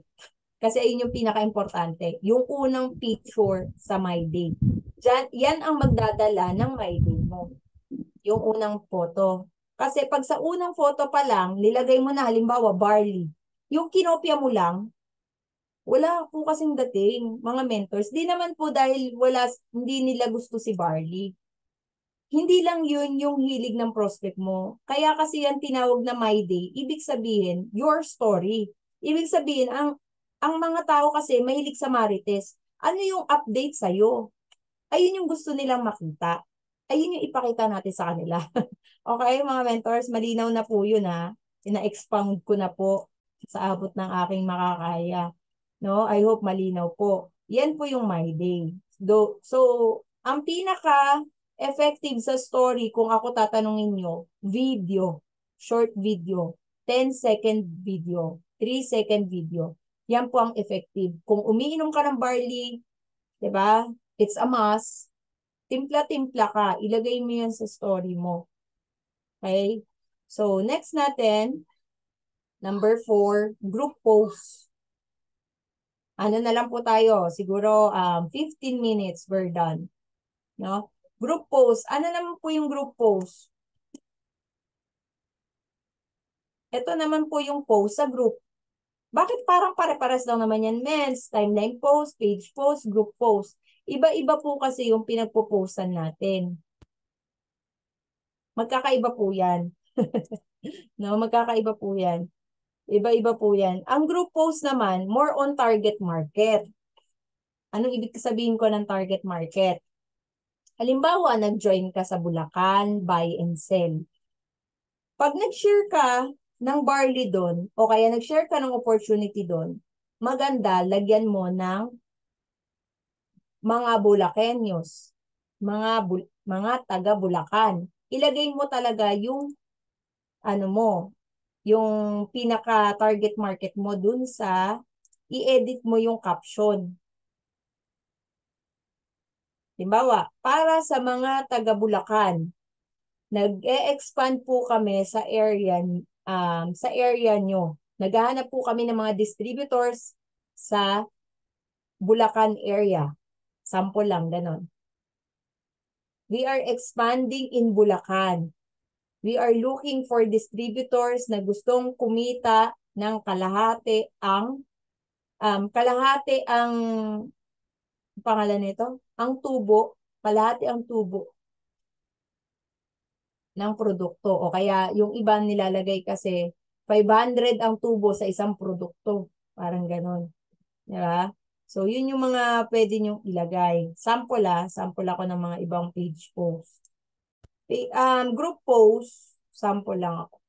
Ito, ito yung group ko. Ano yung sinishare ko dyan? More on kasi ang, ang, ang atake ni Mentor Ivy at Mentor Yogi, ako, ako mismo, is ano, opportunity. Bihira ako mag-post ng product. Pinopost ko lang sa yung pinaprocess na product. Pero yung more on barley, testimony, bihira ako niyan more on opportunity kami. Kasi ayun yung forte ko. ayun yung forte ko. So, kung ang forte mo ay barley, barley yung i-share mo sa groups. O, halimbawa, ito, ayan, sinishare ko to. O, ito, barley din naman din to. Ayan, ito, online negosyo sa bahay. Maghanap ka ng picture mo kahit nagpa-picture ka lang sa mga products. Or kung wala kang picture na kasama yung product, OFW ka, maghanap ka ng mga feature na maraming product. Ayun yung ilagay mo sa group. Kasi ayun yung nakaka-curious. Kasi marami nga. Gusto ng tao yung ganun. So, ito yung caption ko dito.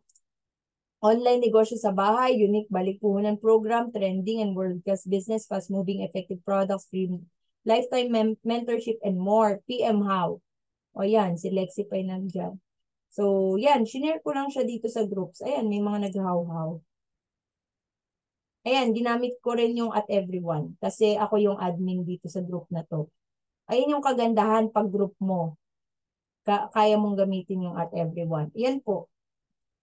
Okay naman po, malinaw po yung yung sa group post natin, naintindihan naman. So, yun po yung mga pang-post sa groups. Kung wala kang idea kung ano ipopost mo sa group, pangopya ka. Uulitin ko ulit. Ayan ang kaganda ng negosyo natin. Sa school, bawal mangopya. Pero sa negosyo natin, pag magaling kang mangopya, mas kikita ka ng malaki. Pagalingan din po mangopya dito, okay? Kaya kung hindi ka mar kung hindi ka marunong gumawa ng original, iti mangopya ka lang po, wala pong problema 'yan. Hindi po bawal mangopya sa atin. Pwedeng pwede po. okay? So, next natin, number 5. 20 join groups. Bakit siya may number? Kasi mababan ka pag mas marami dyan. Wag, eto pala ha, tandaan nyo to, bawal pagsabayin yung nagjo-join ka ng groups at nagpo-post ka sa group. Bawal pagsabayin. Pag ngayong araw na to, nag-join ka ng groups na 20, huwag ka na mag-post sa group para safe bukas ka naman mag-post sa group. Sa isang araw, join group, i-alternate mo. Kasi pag nakita ni Facebook, ang dami mong ginagawa sa groups. Baka maban ka. sayang naman yung 24 hours na ban o imbis na nakapag-post ka or imbis na naka-join ka ng groups, di mo nagawa. Kasi medyo nanggigil ka mag-market. okay? Hinay-hinay lang, kaya siya may numbers. Kasi mahigpit po si Facebook. May Facebook jail na tinatawag. Baka umabot ka sa Facebook jail, eh sayang yung pinaghirapan mong FB. 'Di ba? Sayang yun hindi mo na mare-recover pag umabot ka doon, yung nakulong ka na. May ganyan din po sa Facebook, no? Hindi lang po sa totoong buhay. So, di mo na mare-recover yung account mo pag umabot ka sa gano'n. So, maging mabait ka kay Meta. 20 join groups. So, ano yung mga joinan mong groups? Country or city targeting and niche market. Ano po yung ibig sabihin ng country and city targeting? Kinakaya pa ba ng brain cells ng mga mentors? Kaya pa ba? Kaya pa naman, di ba? So, pinapa, pinapa, pinapadali ko or in, kinukuha natin in layman's term para maintindihan ng bawat isa. So, country targeting, halimbawa, country. Kasi pang buong mundo yung business natin, di ba? Pag nag-join ka ng groups, pwedeng halimbawa, USA, OFW USA. Halimbawa, ito yung joinan mo ng groups ngayon. Okay? Search ka ng ganyan. Pansin ko, unang tin, pinapakita niya na yung groups eh. Sa totoo lang eh. Nararamdaman na rin ni Facebook kung ano yung gusto mo eh. So, una niya nang pinapakita. Pero para makita mo lahat, punta ka sa groups. Ito po, click mo yung groups. Yan. Ay, shit. Wait lang po ah. Ipindot ako.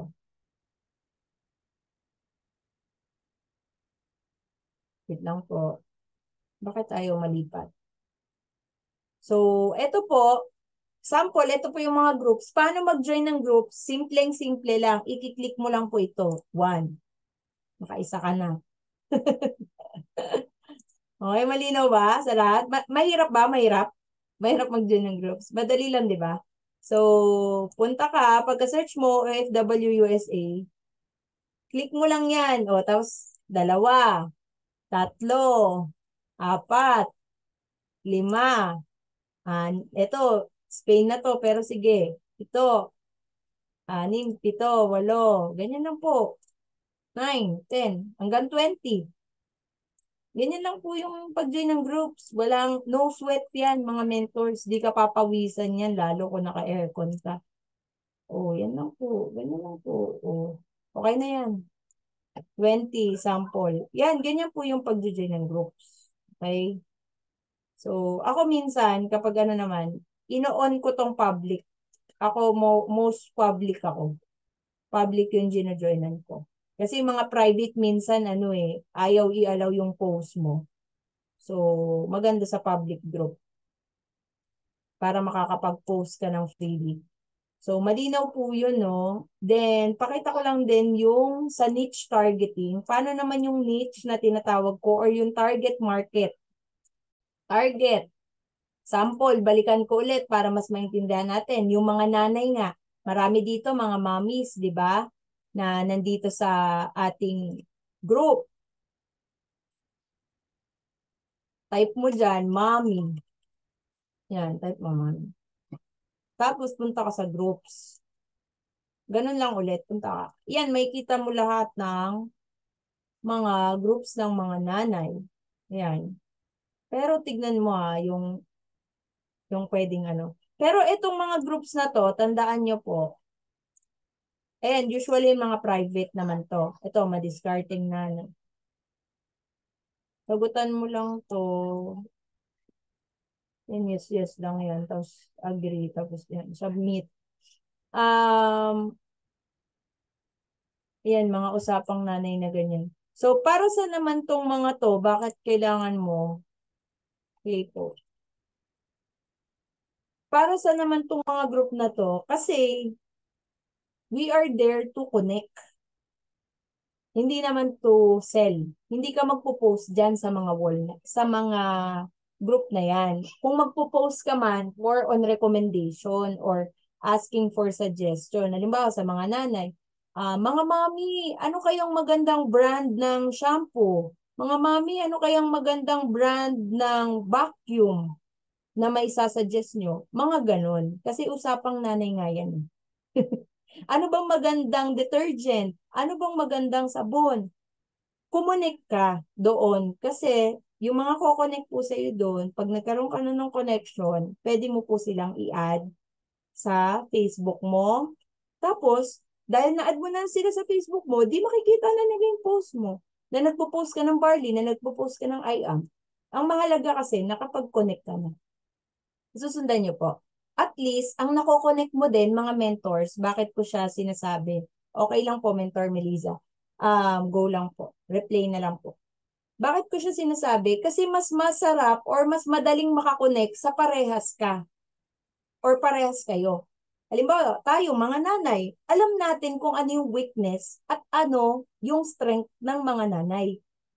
Ano yung mga gusto ng mga nanay kasi nanay kay. O sa mga tatay, alam ng mga tatay kung ano yung strength nila, alam nila kung ano yung weakness nila. Mas madali ka makakakonect, mas madali ka makakapag-prospect kasi parehas kayo. O halimbawa, may mga estudyante din tayo dito like sila Neri, sila I um I mean sila Frankie, sila ano, yung mga iba nating mga student dito.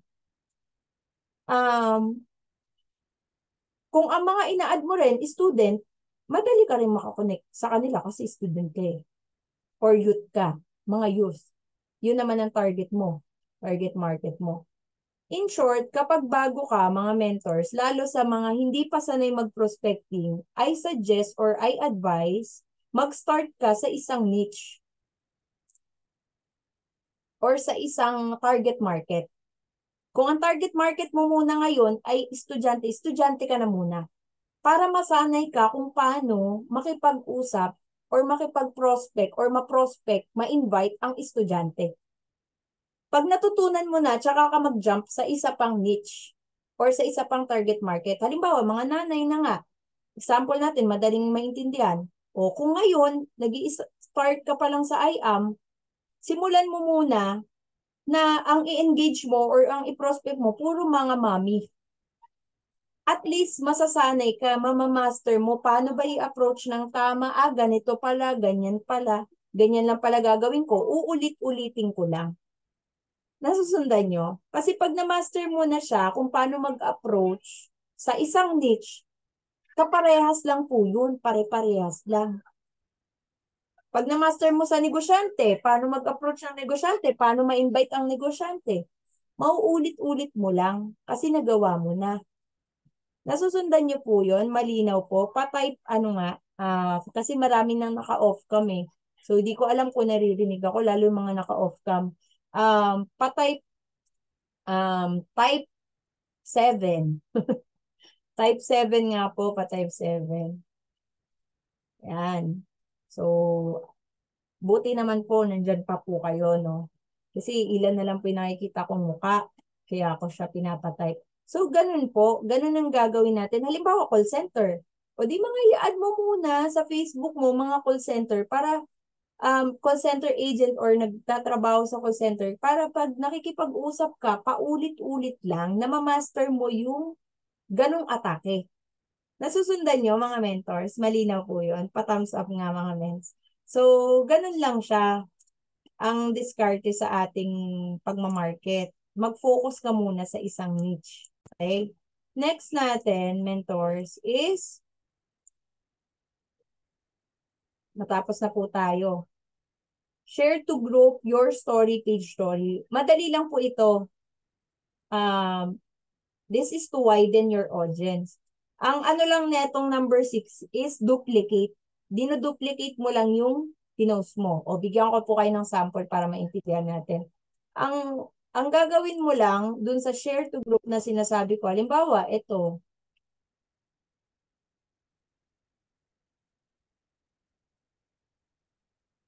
uh, yung may relevance ah, wag yung sa personal life yung sinishare mo sa groups. Ito, halimbawa sa business. Ito, sample na ito. Ito, isi-share ko to sa story. Ikiklik ko lang tong share to story. Pag clinic ko siya, mapupunta na siya sa story. Ganun lang po kadali. Tapos share ko sa group. Halimbawa, ang group ko extra income. O, share ko siya dito. Sige. O, click ko lang to. Ganyan lang po. Wala naman siyang hiwaga. Para lang ma-widen yung audience dun sa post mo.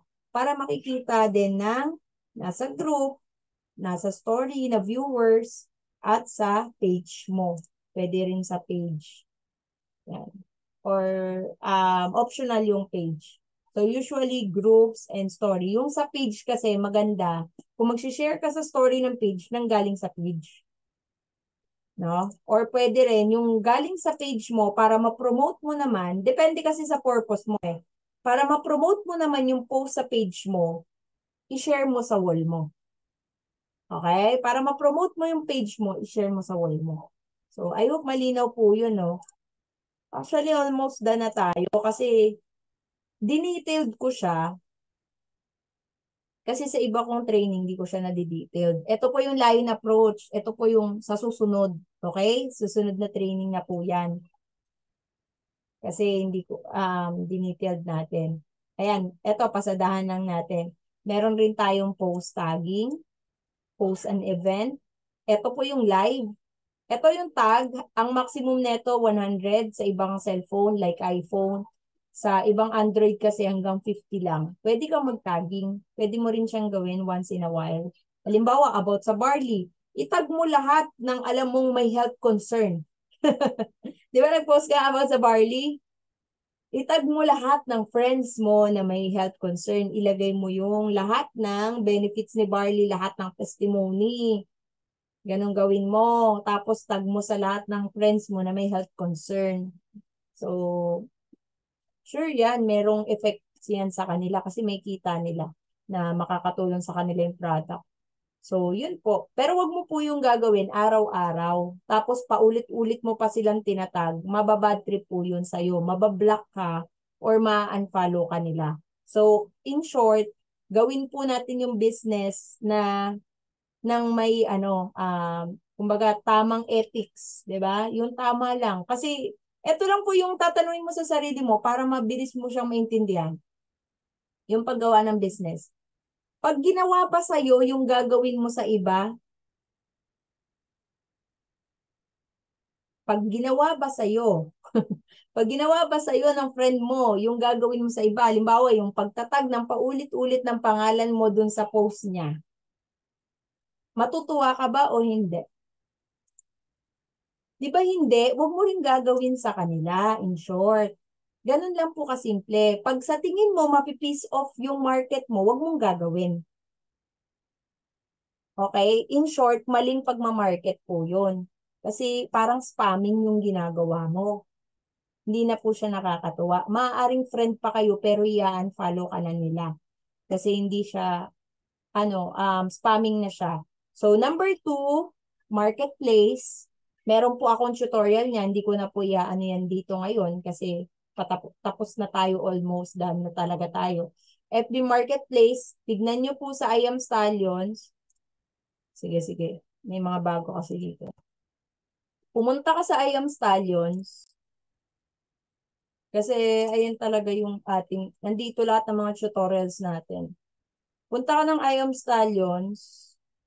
Tapos, i-search mo Saan na yung search? Ito, ito. Sa cellphone may ganyan, magnifying. Search mo yung marketplace. Meron na po ako tutorial dyan. Ayan o. Meron pa akong ginawa dyan kasi baka yung iba hindi pa rin maintindihan dito. Meron ring mobile dyan. Meron yan. Ito, mobile to. Cellphone. Ang gamit ko dito, dito, PC. PC to. Kung paano mag-post sa marketplace. Ayan yung, tinuro ko na siya dyan. Panoorin mo na lang. Kung paano manood ng, paano mag-post sa marketplace. Okay ba yon Malinaw po. Next natin, yan po yung makakabenta ka ng barley. Diyan po. Diyan ka rin makakakuha ng mga automa may mga bigla-biglang nag-a-avail ng package. Kasi ready sila. Ready yung pera nila. At the same time, talagang kailangan nila yung business or kailangan nila ng product. Kasi sinerch nga nila sa marketplace eh. ba? Ikaw yung nakita nila. So, no posting of before and after. One photo for bond safety. Isang photo, mas maganda para malaki. At the same time, original if possible. If possible lang naman. Kung halimbawa, na-picturean mo yung barley, meron ka talaga mismong barley dyan, picturean mo or kasama ka sa picture, nandito yung barley, naka-pyramid na barley, tapos nandito ka. Maganda din po yun, panglagay sa marketplace, na nandun yung mukha mo. Para talagang legit. Number three, host an event. Yan po, medyo technical na yung paggawa ng event. Yan po, pwede, pwede ka kasing maka-invite dito ng 500 a day. Pwede mo kasing, ang event kasi, para maulitan mo yung page mo. Pag naubos mo na ma-invite lahat, 'di ba, sa page mo, pwede ka ulit mag-host ng event para ma-invite mo ulit sila dun sa pag-like ng page mo. Ayan po 'yon. Ayan yung trick diyan. Trick po 'yan pag naggawa ka ng event. So, kung hindi mo pa siya naiintindihan, um, wag mo na munang intindihin. okay? Wag mo na po muna intindihin. So, para lang sa medyo naiintindihan yung sinasabi ko. Number four, scheduled Facebook page posting. Ito naman po yung kapag nagpo-post ka sa page ng consistent, para mas madali mong makonsistent, i-schedule mo. Halimbawa, meron dito, di ba, may mga work.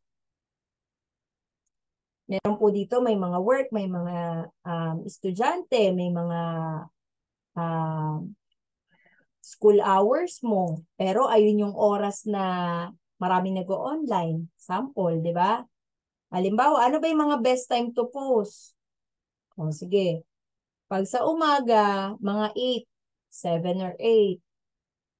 Sa tanghali, syempre lunch. Lunch ng mga ano, di ba? Alas 12. Alas 12 ka mag-post o kaya 11.45. 12 noon, ayun yung mga best time to post. 12 noon, sa tanghali or sa ay sa sa hapon usually yan 4 p.m. tapos sa may kagabihan mga 6 p.m. 7 p.m. kasi uwian na ng mga nagwo-work nagba-browse-browse na yan sila ayan yung mga best time to post 6 to 7 tapos kapag magpo-post ka naman sa mga OFW na groups maganda rin po yung mga alas 12 ng madaling araw alas 3 ng madaling araw kasi ang nakakita naman dyan, OFW. Kasi iba yung oras nga nila. Paggabi at saka madaling araw, OFW. Pag gusto mo mag-post sa mga groups, ayun yung oras ng pagpo-post. So, balikan po natin yung kanina kong sinabi. Wait lang po ah. Yung sa pag schedule sige, pakita ko lang saglit. Kasi medyo ano na yan eh. Yung scheduled ano, posting, technical na yan. Pero kung maintindihan mo, i-apply mo. Kung hindi mo maintindihan, huwag mo munang intindihin. Okay? para lang sa muna maintindihan. Kasi para kahit nasa work ka, nakakapag-post ka sa page. Ayun po yung purpose nito. Ginagamit po to ng mga content creator. No? Para talagang kahit, halimbawa, pag Sunday, mag-post ka na ng schedule for one week.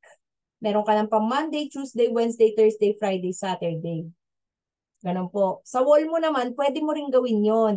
I-ready mo na sa notes mo kung ano yung pang-post mo sa Monday, Tuesday, Wednesday, Thursday, Friday, Saturday ng linggo pa lang. Para hindi ka na masyadong nahihirapan mag-post. ba diba? Makukonsistent mo siya. Kasi importante po na consistent sa pag-post. So, ito po yung page. Uh, halimbawa, magpo-post ako ng ito, halimbawa pala, pupunta pala ako dito, kiklik ko to, magsi-switch ako sa page. See all profiles, tapos pupunta ako sa page para makapost ako dyan. Tapos na po tayo, no? Dalawang ano na lang. Ah, uh, tapos, pag magpo-post ako, naka-PC kasi ako, no, hindi ko ma, ma mapakita ng sample, sample lang. Ito yung sa page, 'di ba? Kuha tayo ng photo. Barley, sample lang ito. Yan, sample, ayan yung photo. Tapos may caption, barley. Sample lang. Di naman ganyan yung may caption ka. Tapos, eto, kikita nyo to sa baba. Di ba usually tayo post lang? Diretso ka na post. Ito yung scheduled na tinatawag. Yung ini-schedule mo sa oras kung gusto mo. Para kahit natutulog ka, may post yung page mo. Pwede po yun. Ginagawa ko yun. Diba? So, ito, scheduled your post for from Meta. Ito, dahil naka-PC ako, sa cellphone kasi, diretso, pwedeng makascheduled post. Pero sa PC, ito pupunta pa kay Meta Business Suite. Punta pa siya dyan. So, ayan o, oh, pwede mo i-schedule. Kay-create ka, kiklik mo tong create. Tapos, ayan, upload ka ng photo, sample lang, tapos text mo, copy-paste mo lang dito, kung ano yung nakita mo sa Facebook, barley, tapos i-click mo tong scheduled. Mas, tek, mas ano ah, mas ano ang ano ah, um, kumbaga mas user-friendly pag sa cellphone. Mas madali itong makita sa cellphone.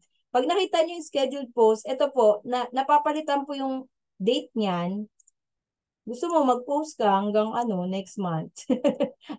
hanggang one month po yan, pwede ka mag-post. Tapos, ito, pwede mo lagyan to ng kung anong oras mo desired. Halimbawa, 8 a.m. 8 a.m. bukas. Ayan, 8 a.m. Yan, mapopost po yan ng exactly 8 a.m. tomorrow. Ayan po yung kagandahan ng scheduled post. May post ka na para bukas. 'Di ba? Halimbawa, nag pinost mo na to. Nag-post ka ulit, lagay ka ulit, para pwede ka mag-post na mag-post sa isang oras. Minsan ginagawa ko yan, pag meron akong time, halimbawa pag Sunday, 30 minutes, nagpo-post lang ako na nagpo-post. Nire-ready ko na lahat. Naka-post na siya kasi mag-automatic. Ito yung kagandahan niyan. Automatic magpo-post siya sa oras at date na gusto mo. O, di ba? Magic. hindi hindi ka na ano, magiging consistent. Ayan po yung mga sikreto. Bakit? Nakikita mo, bakit kaya yung mga malalaking company, bakit palaging may post? Consistent sila sa pagpo-post. Mga Dunkin' Donut, mga Coca-Cola. Kasi po, naka-ready na yan. Alam mo yung mga content mark, um, yung pinaka-content creator nila, yung mga, um, anong tawag dyan? Basta yung mga manager ng mga page na yon yung content manager, Naka-ready na po yun for one month. Kung ano yung pang-post nila for one month. Ganun ang trabaho nila. So, ikaw na sa IAM ka, ganun po gawin mo. Para at least, di mo na siya isipin. Answer ka na lang ng inquiries, tapos nagpi-PM-PM ka na lang, naglalagay ka na lang ng, your, ng story mo, tapos naglalagay ka na lang paminsan ng mga lifestyle-lifestyle sa wall mo. Yung sa page mo, mas makukonsistent mo pag scheduled post ang ginagamit mo. Nasusundan nyo po yun. I-alternate nyo lang. Monday, facts.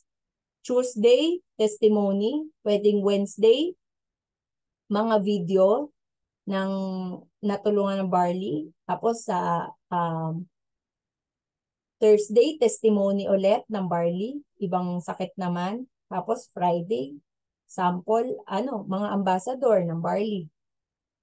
Tapos pag Saturday, Sunday, mga nabenta mo proof of legitimacy mo, proof of shipping, mga nabenta mo, ilagay mo dun sa page mo. Ayun po yon. Nasundan niyo po, malinaw po. Kailangan iba-iba per day. Lagyan mo ng pattern. Ikaw na bahala. Kasi ako may pattern ako eh. Kung ano yung pang-post mo ng Monday, ano yung pattern mo pag Tuesday para hindi ka mahirapan. Meron kang guide. So, ganun po ang gagawin natin. So, almost done na tayo. Live. I hope naintindihan nyo naman to. Meron po ba dito hindi pa nagla-live? Pa-type nga po ng V. Yung mga nagla-live na type L. Ako, dati talagang weakness ko to. Di talaga ako nagla-live. Pero ngayon, nagla-live na kasi ako. Kasi si Mentor Lyobi na po push ako. Kasi nga, minsan siya yung nag siya ay nag-aayos, nagbibilang ng package at nagbubuhat, eh, sino yung magla-live? Di ako. ba diba? So, napupush tayo mag-live. So, mahalaga po yung live, maganda yan. Kasi proof of legitimacy yan eh. Nakikita nila na, ah, totoong tao ka pala. Totoong tao pala yung kausap ko. So, kung nahihiya ka pa mag-live, pwede ka naman mag-live magsimula ng binivideo mo muna yung, alimbawa, pumunta kang office. Mag-live ka, tapos yung ginagawa ni Mentor Lu, Mentor Lu mautak to eh. Tini- tinatapat niya sa ibang tao. Ginaganon niya. Nagla-live lang siya, pero hindi nakatapat sa kanya. O, live na yun. Pero paminsan-minsan, ihaharap niya rin sa kanya para makita kasi yung mukha mo. Kailangan ilalagay, iaganon mo rin sa mukha mo. Kasi importante yun. Kaya ka nagla-live para mapakita mo sa audience mo or sa market mo na totoo ka. Kasi may mga ina-add tayong mga tao na hindi naman natin friends before na merong pang trust issue na ay digit ba talaga yan na ano distributor ng barley? Baka naman peke lang din yung binebenta niyan. Halimbawa ganun. So kay, kaya mahalaga rin yung live. Maganda rin nagla-live. Yung mga hindi pa naman kaya wag mo hindi naman kita pinipilit. Pwede mo naman ding gawin kung gusto mong matuto rin mag-live start mo muna sabi nga ni Mentor TJ sa amin mag-video ka araw-araw Tingnan mo lang itsura mo, kung ano itsura mo sa camera. Habang sinasabi ko pa lang, natatawa ka na, di ba? alam mo yun, ka- kahit ako, ganun din ako. Yung unang ginawa ko siya, alam mo ka akong tanga, oh, ganun yung, yung ano ko sa sarili ko. Ganun ka baba yung self-esteem ko. Na, alam mo akong tanga, pangit ko, grabe. Yung parang ka nako-conscious, ganun yung itsura. Ganun po, ganun din ako before. Hala, ang pangit talaga. Tapos yung nag-record na ako, try ka, mag-practice ka. Every day mag-video ka lang, hindi mo ipopost. Ano lang, ikaw lang makakita. Gusto mo i-post mo, only me lang. Di ba? Ilagay mo sa face, only me. ikaw lang makakita. Para meron kang record. O, pinost ko yan, o. Dati, o, tingnan mo, only me lang. O, ganyan ako kaya. Ganyan ako kamahiyain. Di ba? Para lang, ma-build up lang yung confidence mo sa camera. Kaya ako sinasabi.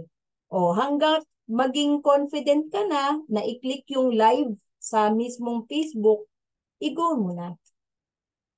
Okay? Doon ka muna mag-start kung talagang sobrang mahihain ka. Pero yung mga makakapal yung muka, exempted po yun, ha? Yung mga makakapal mukha, mag-live na po kayo, mamaya pa lang, after nito. o kaya bukas, mag-live na agad, ha? Di ba? Ito po yung barley. Ito po, ganito po yan. Ganito po yan iniinom. Timpla-timpla ka lang po yan. Lagay mo po yung sachet. Pag po yung sachet, ah, kailangan bubuksan po. Yung laman po ang kailangan ilagay. mga, gan mga ganon, sample, di ba? Timpla-timpla ka mga ganyan. Yung mga barley. Di ba? So, mayayain daw si Mentor Dave. Ako, wag mo kong anuhin dyan, Mentor Dave. Ha? Uh, inaantok na ako. so, ayan. Live lang po tayo, mga office visit. Pag pumunta ka ng office, wag mong um, sayangin na pumunta ka ng office, mag-live ka, mag-video ka doon, mag-reels ka, lahat yan gamitin mo. Product pick up, process, pag nag-process ka sa GNT or nag-process ka sa DHL, nasa bahay ka, nagtitimpla ka ng product, sabihin mo lang yung ano ng product natin, legitimacy. Ayan sila Mentor Phil, Phil Marie at saka si Mentor Jeff. Natutuwa ako sa kanila, mag-asawa. Nagla-live sila ng barley. Sinasabi nila yung mga benefits ni barley at yung iba nating products. Nilalagay lang nila doon sa table. Tapos sinasabi nila, tapos may mga nagtatanong-tanong doon, para saan yan? Ano yung ano? Sino ba? Pwede ba yan sa buntis? Pwede ba yan? Tapos sinasagot nila doon sa live. Oh, ganda nun, 'di ba? So, kailangan lang talaga kapalan ng muka at sa, sa negosyo din natin, ano, dapat matuto rin tayo. Nakakapalan yung muka. Pero kung hindi mo pa kaya, huwag mo munang pilitin. Okay? Dahil may, marami naman po nagsimula sa IAM na ma, ma, mahiyain katulad natin. No? Ako kasi mahiyain din ako, no? So, kailan lang din ako nagla-live-live. So, tapos na po tayo actually. Ayan, basahin ko na lang to. Ang ibig sabihin lang ng slide na to actually is build your brand on Facebook. Sino ba si Lusano? Ayan yung dapat mapakita mo sa Facebook. Bakit ba maganda yung team natin? Bakit ba maganda yung Stallions Worldwide? dapat nilalagay, inaano mo yan, piniflex mo yan. Ano bang meron sa'yo? Lusano, ano bang meron sa'yo, Frankie, para maging business, para gawin kitang business partner? Maging, ah kumbaga, piliin kitang business partner kita. Anong meron sa'yo? Ayan yung ipakita mo sa Facebook. Bakit ba kailangan, um, why should they support you? Bakit ba kailangan nilang suportahan yung negosyo mo? Ayun yung ilagay mo. Halimbawa, nag-attend ka ng training ngayon, mga mentors. After this training, mag-post ka ng realization sa training. Isang realization lang. Hindi naman kailangan i-training mo lahat ng sinabi ni Mentor Ivy eh. Isang realization lang. Sample, halimbawa, realization mo. Um, sample, ito yung content mo. Nag-post ka. Diba? Picture kang ganyan. Selfie ka lang. Selfie kang ganyan. Sa may cellphone mo. Yan. Um, done attending training. Oh, tapos lagay mo doon. I'm um, grateful ako, um, I'm grateful to God kasi naka-attend ako ng training. Kasi marami ako na-realize. Isa doon yung ano, napaka-importante pala na inaaral mo yung negosyo mo. Kasi pag inaaral mo yung negosyo mo, mas madali mo siyang maiintindihan at mas madali kang kikita sa negosyo mo. Mga ganun, mga sample. Tapos napaka-importante pala na nag-aaral na um, continuous na napaka-importante pala na, na na continuous learning ka sa business, mga ganun. Kasi in that way mas ano, mas mag-grow ka. O mga ganun. Basta kahit ano, hindi mo kailangan gayahin yung sinabi ko, no? Own testimony. Kung ano yung natutunan mo sa training natin. Diba? So, ayun yun. Ayan, own story. Minsan nagpo-post ka ng mga throwback mo. Lalo kapag halimbawa, nagkaroon ka na ng, halimbawa, first, ano mo, goal mo, halimbawa, hindi medyo palinghado na yung cellphone mo. First goal mo, sample, cellphone. Magandang cellphone. Hindi naman kailangan iPhone eh. Ako nga, hindi ako naka-iPhone, no? O, naka-Oppo lang ako, pero maganda kasi yung camera nito. So, First goal mo, halimbawa, magandang cellphone. O. Pag nag-post ka na ng ganun, may patrobak ka. Ano yung cellphone mo dati? Mga ganun. Para may inspire yung mga prospect mo. Ayun yung mga pwede nating i-post. Okay? So in short, etong slide na to, ang ibig sabihin niyan, lang yan, maging ikaw ka. Sino ba si Elizabeth? Sino ba si Vanessa? Ayun yung ipakita mo sa Facebook mo. Kung Bisaya ka, mag-Bisaya ka, mag pag Ilocano ka, mag-Ilocano ka. Kung nasa Spain ka, minsan mag-Spanish ka. Kasi ayan yung target market mo eh, mga mentors. Sila yung target market mo. Ang kausap mo, yung target market mo. So dapat, ang makapakita mo sa Facebook, sino sino ka ba? Bakit kanila kailangan suportahan? O halimbawa, ano ba yung gusto ng mga target market natin? Masipag.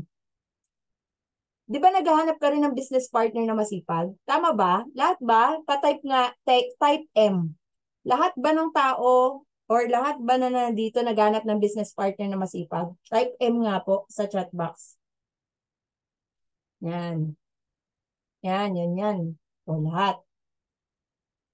Lahat naman, di ba? Kung gusto mo na makahanap ng business partner na masipag, mapakita mo dapat sa Facebook mo na masipag ka. Ganun kasimple. Kasi ang ang isang tao na-attract sa kaparehas niya. Ulitin ko ah, ang isang tao na-attract sa kaparehas niya. Kung masipag ako, gusto kong samahan yung taong masipag. Susundan mo? Kung matalino ko, gusto kong sumama sa taong matalino. Okay? Kung may pasensya ako, gusto kong sumama sa taong may pasensya. Kung mabait ako, gusto kong sumama sa taong mabait. Ayan yung ipakita niyo sa Facebook. Nasusundan nyo, ano yung good quality mo? Ipakita mo yan. Hindi mo naman sasabihin, mabait ako, masipag ako. Hindi mo naman ipopost sa Facebook. Eh. Kailangan ipakita mo, paano, paano mo mapakita masipag ka? Eh di pakita mo lahat ng activity mo. Ginagawa mo sa negosyo, nagbebenta ka, nakabenta ka, lahat ng mga mga proof of income mo, proof of shipping mo, ilagay mo ng ilagay. Nagte-training ka, umaattend ka ng training, ilagay mo sa wall mo yan lahat. Para ma-attract mo yung tamang market sa negosyo mo. Okay po? Ayan lang yan. Ayan yung slide na to. Maging ikaw ka lang. Huwag mong gayahin yung ibang tao. Kailangan ang makita nila si Frankie. Hindi dapat nila makita yung ibang tao sa'yo. Dapat ikaw. Kasi mamaling ka ng tao kung sino ka. Ganun siya. At ma-attract mo yung tamang market pag pinapakita mo kung sino ka. ba? So, next natin, yun na yun. Parehas na lang din to. 'Di ba? Be consistent, use quality content. Kung gusto mo ng mga quality content, ito po yung mga apps. I-ano mo na po yan, Canva, Mojo, Picolage, Photogrid, Snapseed, Photoshop. Kung marunong ka mag-Photoshop, go. No? Mid at saka pro ang gumagamit niyan. Leverage on video marketing. Ito po yung mga pang-download. Yan. FB. I-search mo lang sa Google. Facebook downloader. Hindi mo na kailangan yan i-download kapag sa, sa PC. Pag sa cellphone, again, merong app na yan. Facebook downloader at saka YouTube downloader. I-download mo sa App Store or Play Store. Then number four, ay na yung sinabi ko, be authentic. Hindi ka magkakamali, mga mentors. Kapag ang pinapakita mo lang kung sino ka. Okay? Pero yung mga bad attitude natin, ano yun? Exemption yon. Kung meron kang alam mo na kailangan mong i-improve, kung dati nakikipag-away ka sa Facebook, hindi mo na pwedeng gawin yun ngayon. Okay? Kasi negosyante ka na. Ayaw ng mga negosyante ng mga taong war freak. Okay? So, kailangan, wag ka po makipag-away sa Facebook ha. Wala pong magpo-post ng negative. Ayan, isa pa po yan. Walang magpo-post ng negative. Kahit negative na yung sitwasyon mo sa buhay. Hindi na po yan kailangan malaman ng mga tao sa labas. No? Mas mai inspire po sila dyan kapag naging successful ka na, tsaka mo sabihin yung negative na nangyari sa'yo. Ayun, inspiration po yun sa kanila. No? So, kasi ang tao ngayon, ang, ang gustong makita ng mga tao ngayon, ang gusto mata makita, ang gusto lang naman ng tao ngayon is ma-inspire, ma, ma mapatawa mo sila, ma-entertain, inspire, entertain, and ma-educate. Yung tatlo lang na yan.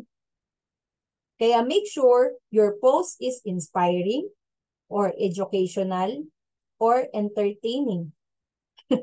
okay? Para maka-engage ka sa prospect mo. Yang tatlo, tandaan niyo po yan, inspire, entertain, at uh, inspire, entertain, at educational or educating.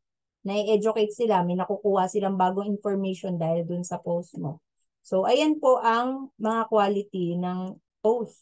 No? And ito na po yung pinaka iiwan ko po sa inyo. Um, sabi ng isang mentor namin, it is very important to be sincere in what you do. It doesn't matter whether people will recognize what you are doing as long as you are sincere. Do it without any other motives. In layman's term, sa negosyong ginagawa natin, sa pag-Facebook marketing, kung kahit gaano ka-technical man yan, di ba? Actually, posting lang yan eh. In layman's term, posting lang yan. Pare-parehas lang yan na posting talaga. Um, yung attraction marketing. Ang, para hindi ka magkakamali, simpleng-simple lang, gamitin mo lang to. Ito. Ito. Puso gamitin mo lang yung puso. In short, ipakita mo lang kung sino ka, lagyan mo ng puso or lagyan mo ng pagmamahal yung ginagawa mo na pag nagpo-post ka, mai-inspire ko ba yung mga tao dito sa post ko o maiinis lang sila? May educate ko ba sila dito o hindi? Ma mapapatawa ko ba sila dito o magagalit lang sila dito sa post ko? Ayun po yung tatanungin mo every time magpo-post ka sa Facebook. Think before you post. So in short, kapag puso ang ginamit mo, hindi ka basta magkakamali.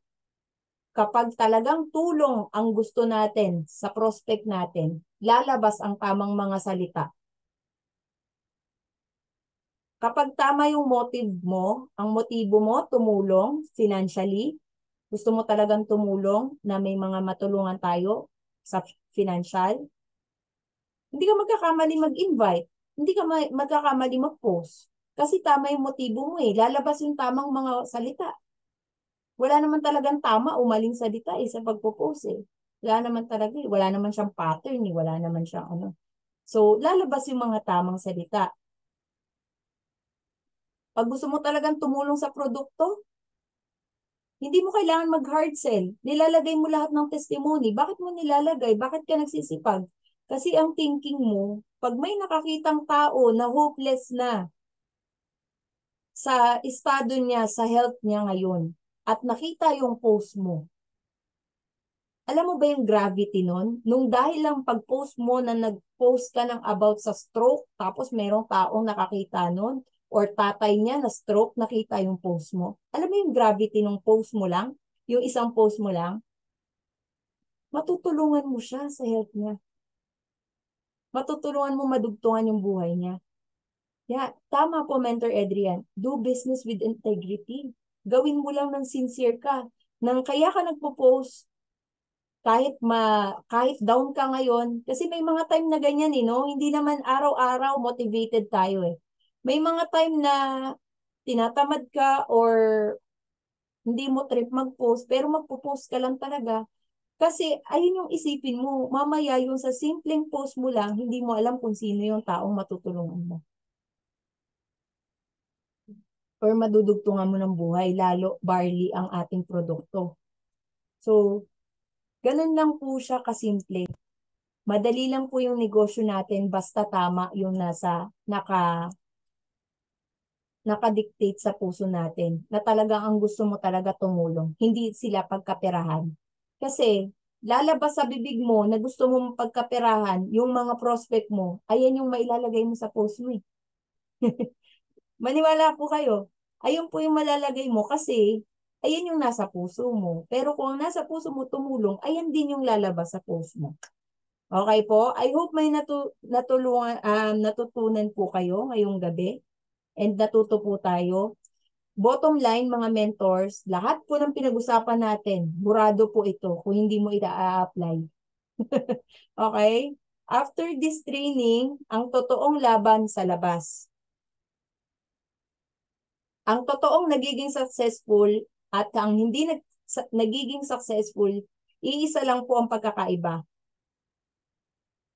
Yung isa, ginagawa niya yung negosyo pagkatapos niyang umaten ng training. Yung isa, hindi niya ina-apply. Ganun lang po kasimple.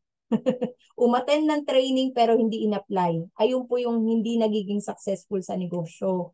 Yung nagiging successful, yung umaten ng training, in-apply niya yung natutunan niya. So I hope ikaw yung umattend ng training or a-attend ng training at i-apply yung natutunan niya afterwards. So ayun lamang po um, for the sa mga gusto pong mag-like and follow ng aming Facebook pages, i-promote ko na din. That's our page. This um ito yung page ko Ivy Joyce Ivy Joyce Agbulyo. Ito naman yung page namin ni Mentor Jovi, Jovi and Ivy. Tapos ito naman yung page namin sa IAM. So, optional lang yan kung gusto nyo i-like. Like and follow us on Facebook, no?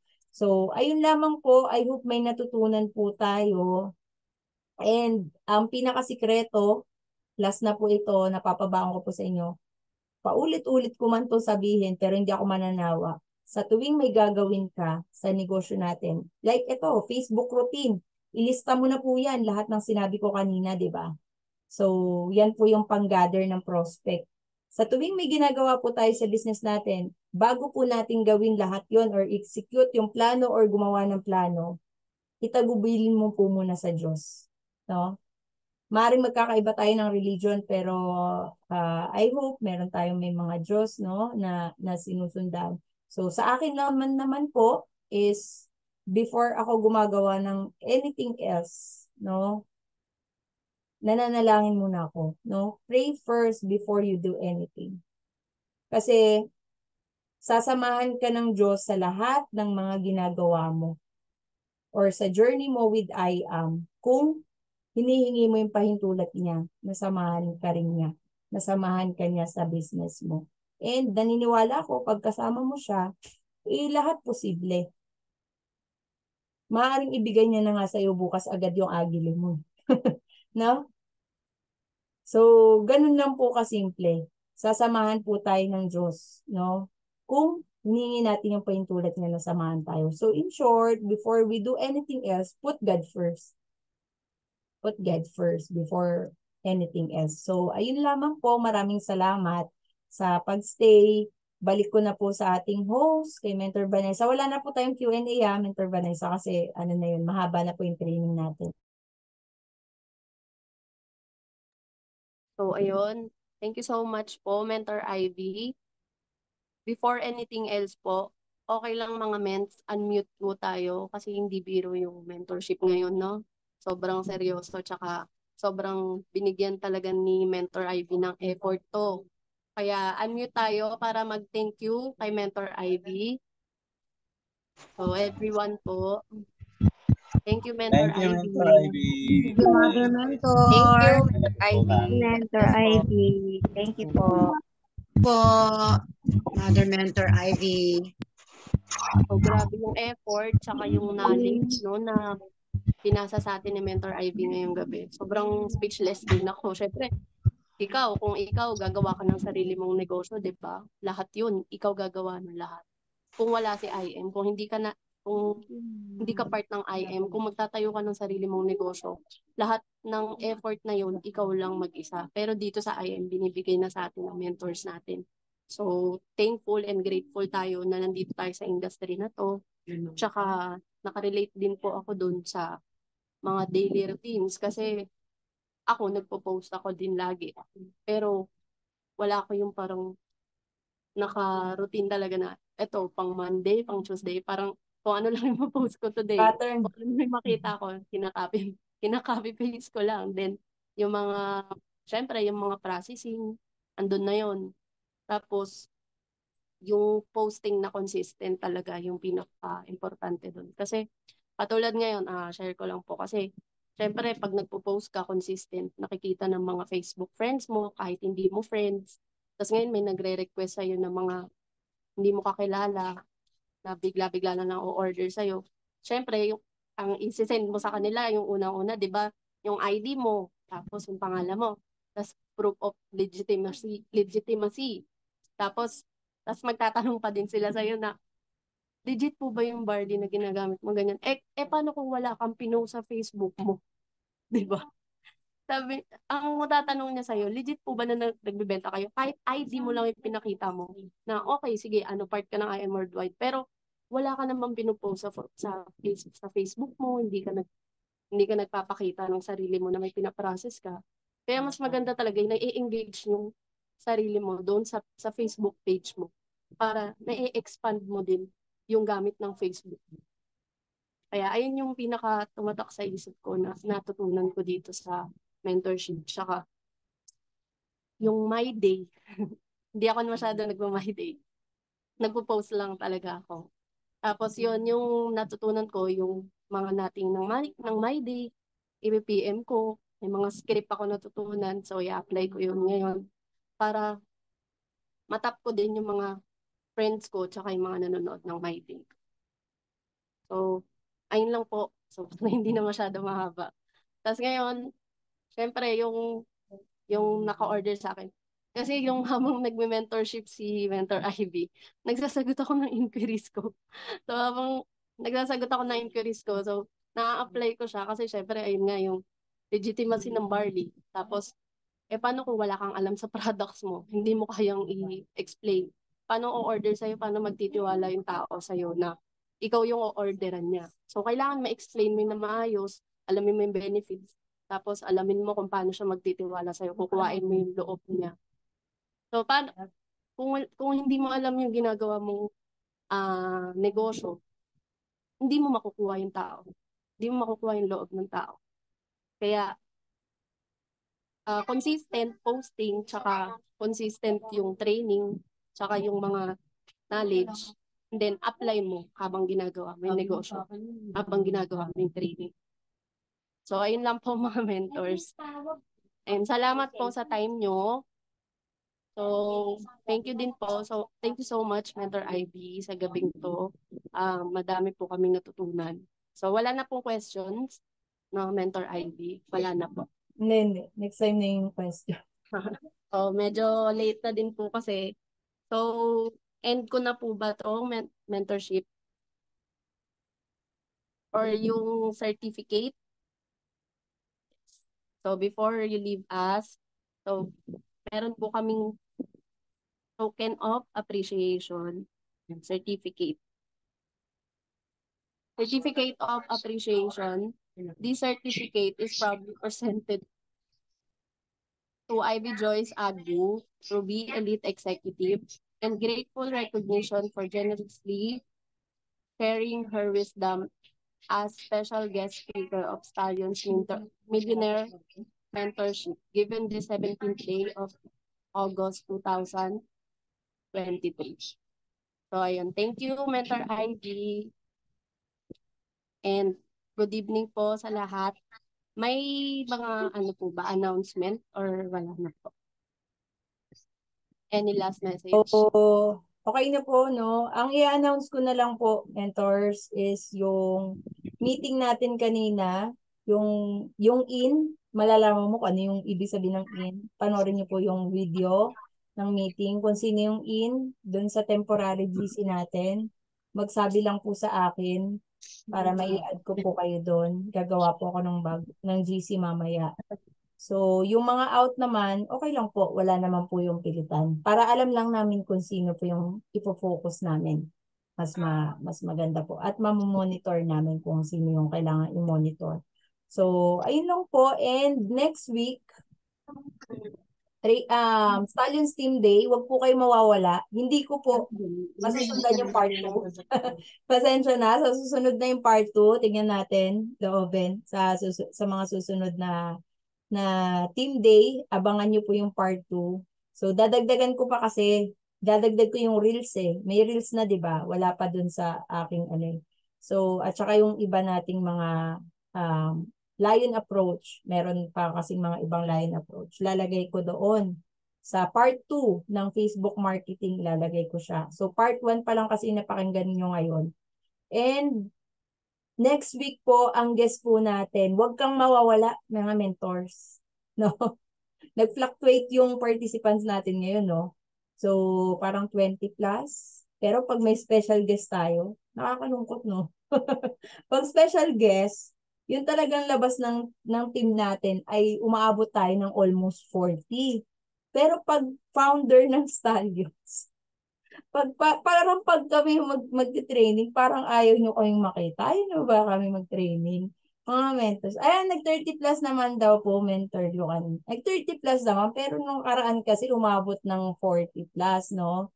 So, umaabot tayo ng 40, mas marami. Pero, um, ang ano ko lang, maganda po kasi tumataas, no? Pataas tayo. So, kung, ayan, kung nag-33 po tayo, kasi last week, nag-40 tayo eh nag-40 tayo. So, kung may mga nag-join, mga mentors, dapat na i-relay po natin sa kanila yung pag-attend ng team day. Dapat, God, um, loobin, next week, dapat mas mataas lagi. Kasi may nag-join ng one week eh. Dapat nadadagdagan po tayo ng mga bago. Hindi po yung last week na nag-join or ngayong nag-join, um, ngayong nan nanood ng training ngayon, umattend, dapat next week may madadagdag. Tayong 22, dapat may, mad imagine niyo ha, tayong 22, may madala lang tayo na bagong wala ngayon na isa. 44 na tayo next week eh. Tama ba? Kasundan nyo. Kung lahat tayo na meron talaga tayong dala dito na member mo. Okay? Bago mong member o kaya luma mong member na hindi pa naka-attend ng training, i-invite mo dito sa Stallions Team Day. Kasi next week, ang guest natin, batang-bata, uh, millionaire at the age of 20. Naging milyonaryo sa sa IAM. Sa IAM mismo, no? Wait lang, ah. tingnan ko lang. Tama. millionaire at the age of 20. Meron ba dito 20 years old pa lang? O kaya 20 years old below? Ikaw, Mentor Frankie, 20 ka na ba? O, Mentor Frankie, makaka-relate ka dito. Naging milyonaryo siya sa I am 20 years old. Makikinig, hindi. Papakinggan ba natin? Papakinggan. At alam nyo ba, yung tao na to, magaling lang naman magpa-jade. okay, magpa-jade. May matututunan ba tayo next week? Kaya kung ngayon, nandito tayo ngayon, nakita mo, wala dito yung leader mo, next week, dalin mo siya para hindi mo na kailangan i-relay yung, yung training sa kanya.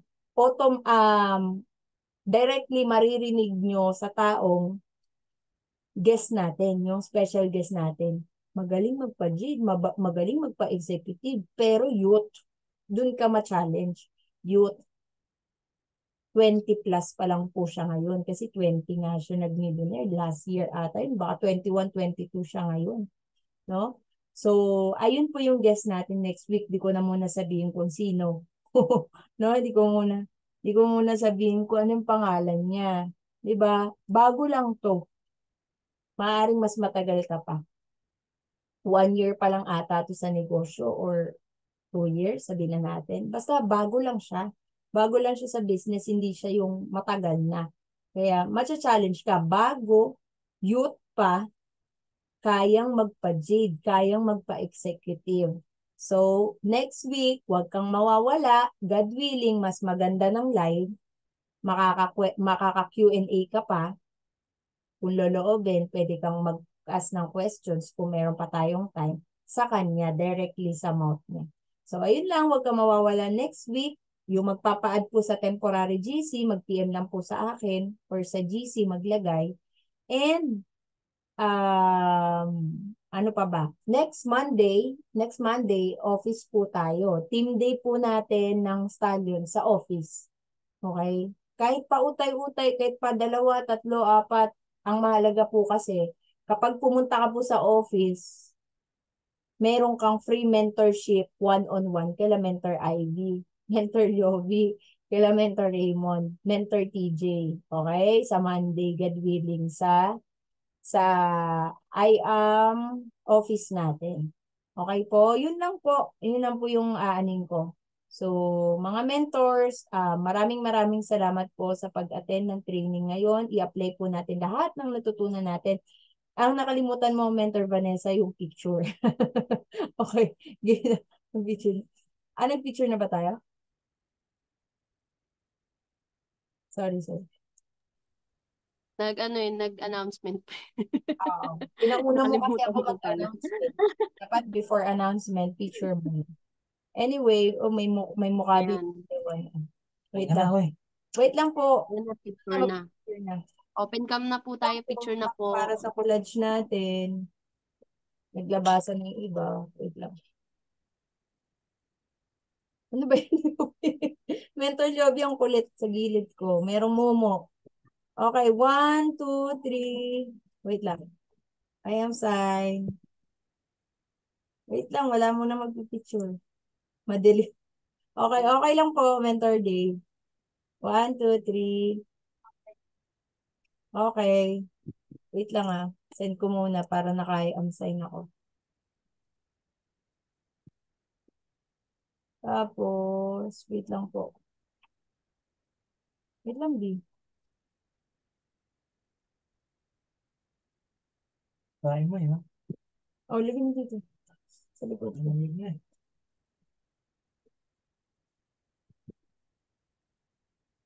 Thank you. Kain. Wait lang, mentors ah. Wait lang po, B. Nagsisend, naka-live ako eh. Kakainin ko yan. Maghintay. Ayan. One, two, three. Mentor Joby kasi nagatis na ng pagkain. Hindi pa ako kumakain. Wait lang po ah. Ayan. One, two, three. I am sign po, mentors. Kahit inaantok na tayo, ngiti pa din. Okay, one, two, three. Okay. Ayun lang po. Maraming salamat. Bye! Thank you, Mentor Frankie, Mentor Bye, Vanessa, mga men. Marcos, congrats, Mentor night po. Mentor Rowie, Mentor Robbie, Mentor Wilma, Mentor Kat, Mika, Lou, Crystal, Jeff, and Phil Marie, Mentor Nell, maraming salamat, Mentor Brian, Mentor Raymond, Mentor Miriam, mentor blight at sa ating mga mentors na nakalabas na kasi baka napunta na sa work or na kailangan na matulog kasi may work bukas. Bye po, mentors. Thank you, thank you, thank you. Apply po natin lahat ng natutunan natin. Okay.